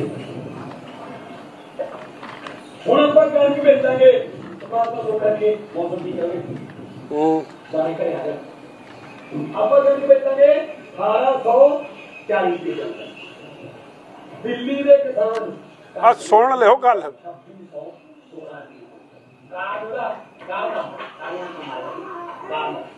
ਕੇਜਰੀਵਾਲ ਕਹਿੰਦਾ ਜੀ ਆਪਾਂ ਕਿ ਆਪਾਂ ਰਿਪੋਰਟ ਲਾਗੂ ਕਰ ਨਹੀਂ ਸਕਦੀ ਸਟੇਟ ਗਵਰਨਮੈਂਟ ਸਵਾਮੀਨਾਥਨ ਦੀ ਸਵਾਮੀਨਾਥਨ ਦਾ ਉਪਾ ਕਿੰਨਾ ਬਣਦਾ ਲਾਇਆ ਸਾਹਿਬ ਕਹੇ 2616 ਬਣਦਾ ਫਿਰ ਐਂ ਕਰਕੇ ਕਹਿੰਦਾ ਪੌਣੇ 800 ਰੁਪਏ ਕੁਇੰਟਲ ਤੇ ਨਾ ਬੋਨਸ ਦੇ ਦੇਣੇ ਆਪਾਂ ਦਿੱਲੀ ਦੇ ਕਿਸਾਨਾਂ ਨੂੰ ਸਵਾਮੀਨਾਥਨ ਦੇ ਬਰਾਬਰ ਭਾਅ ਜਾ ਉਹਨੂੰ 100 ਕਰੋੜ ਰੁਪਇਆ ਕੱਢ ਕੇ ਪਾਸੇ ਰੱਖ ਲਿਓ ਪੌਣੇ 800 ਰੁਪਏ ਕੁਇੰਟਲ ਬਿਜਲੀ ਦੇ ਕਿਸਾਨ। ਬਾਅਦ ਵਿੱਚ ਕਿ ਕੈਪਟਨ ਕਿਉਂ ਨਹੀਂ ਕਰ ਸਕਦਾ ਇਹ? ਕਰ ਸਕਦਾ? ਐਂ ਕਰ ਇੱਕ ਕਿੱਲੇ ਤੇ ਬਾਈ ਤੇ ਇਹ ਰੁਪਏ ਫ਼ਰਕ ਪੈਂਦਾ ਜੇ ਬਾਈ ਤੇ ਇਹ ਰੁਪਏ ਕਿੱਲੇ ਦੀ ਵੱਧ ਆਪਾਂ ਨੂੰ ਆਮਦਨੀ ਹੋ ਗਈ, ਫਿਰ ਕਰਦੇ ਨੇ ਵੀ ਲੋੜ ਨਹੀਂ ਪੈਣੀ। ਕਰਦੇ ਨੇ, ਕਰ ਸਕਦਾ ਕੈਪਟਨ ਕਰੇ। ਨਹੀਂ ਕਰ ਇਹ ਤਾਂ ਹਲੇ ਤੱਕ ਨਾ ਬਾਦਲ, ਮਜੀਠੀਆ, ਕੈਪਟਨ ਦੇ ਸਦਮੇ ਚੋਂ ਨਹੀਂ ਨਿਕਲਦਾ। ਵੀਰੇ, ਤੂੰ ਦੇ ਦੇ ਪੈਸੇ। ਜੇ ਕੈਪਟਨ ਨਹੀਂ ਦਿੰਦਾ ਸੀ ਤੇ ਹੁਣ ਤਾਂ ਤੂੰ ਬਣ ਗਿਆ, ਹੁਣ ਤੂੰ ਦੇ ਦੇ ਦਿੱਲੀ ਵਾਲੇ ਮਾਡਲ ਦੇ ਹਿਸਾਬ ਨਾਲ। ਕਿਸਾਨਾਂ ਨੂੰ। ਲਾਗੂ ਕਰਦੇ ਸਵਾਮੀਨਾਥਨ ਕਮਿਸ਼ਨ ਦਿੱਲੀ ਮਾਡਲ ਵਾਂਗੂ। ਬੇਈਮਾਨ ਨੇ ਭਾਈ, ਇਹ ਇਮਾਨਦਾਰ ਨਹੀਂ ਹੈ ਕੱਟਰ ਬੇਈਮਾਨ, ਹਰ ਪਾਸੋਂ ਕੱਟਰ ਬੇਈਮਾਨ। Thank you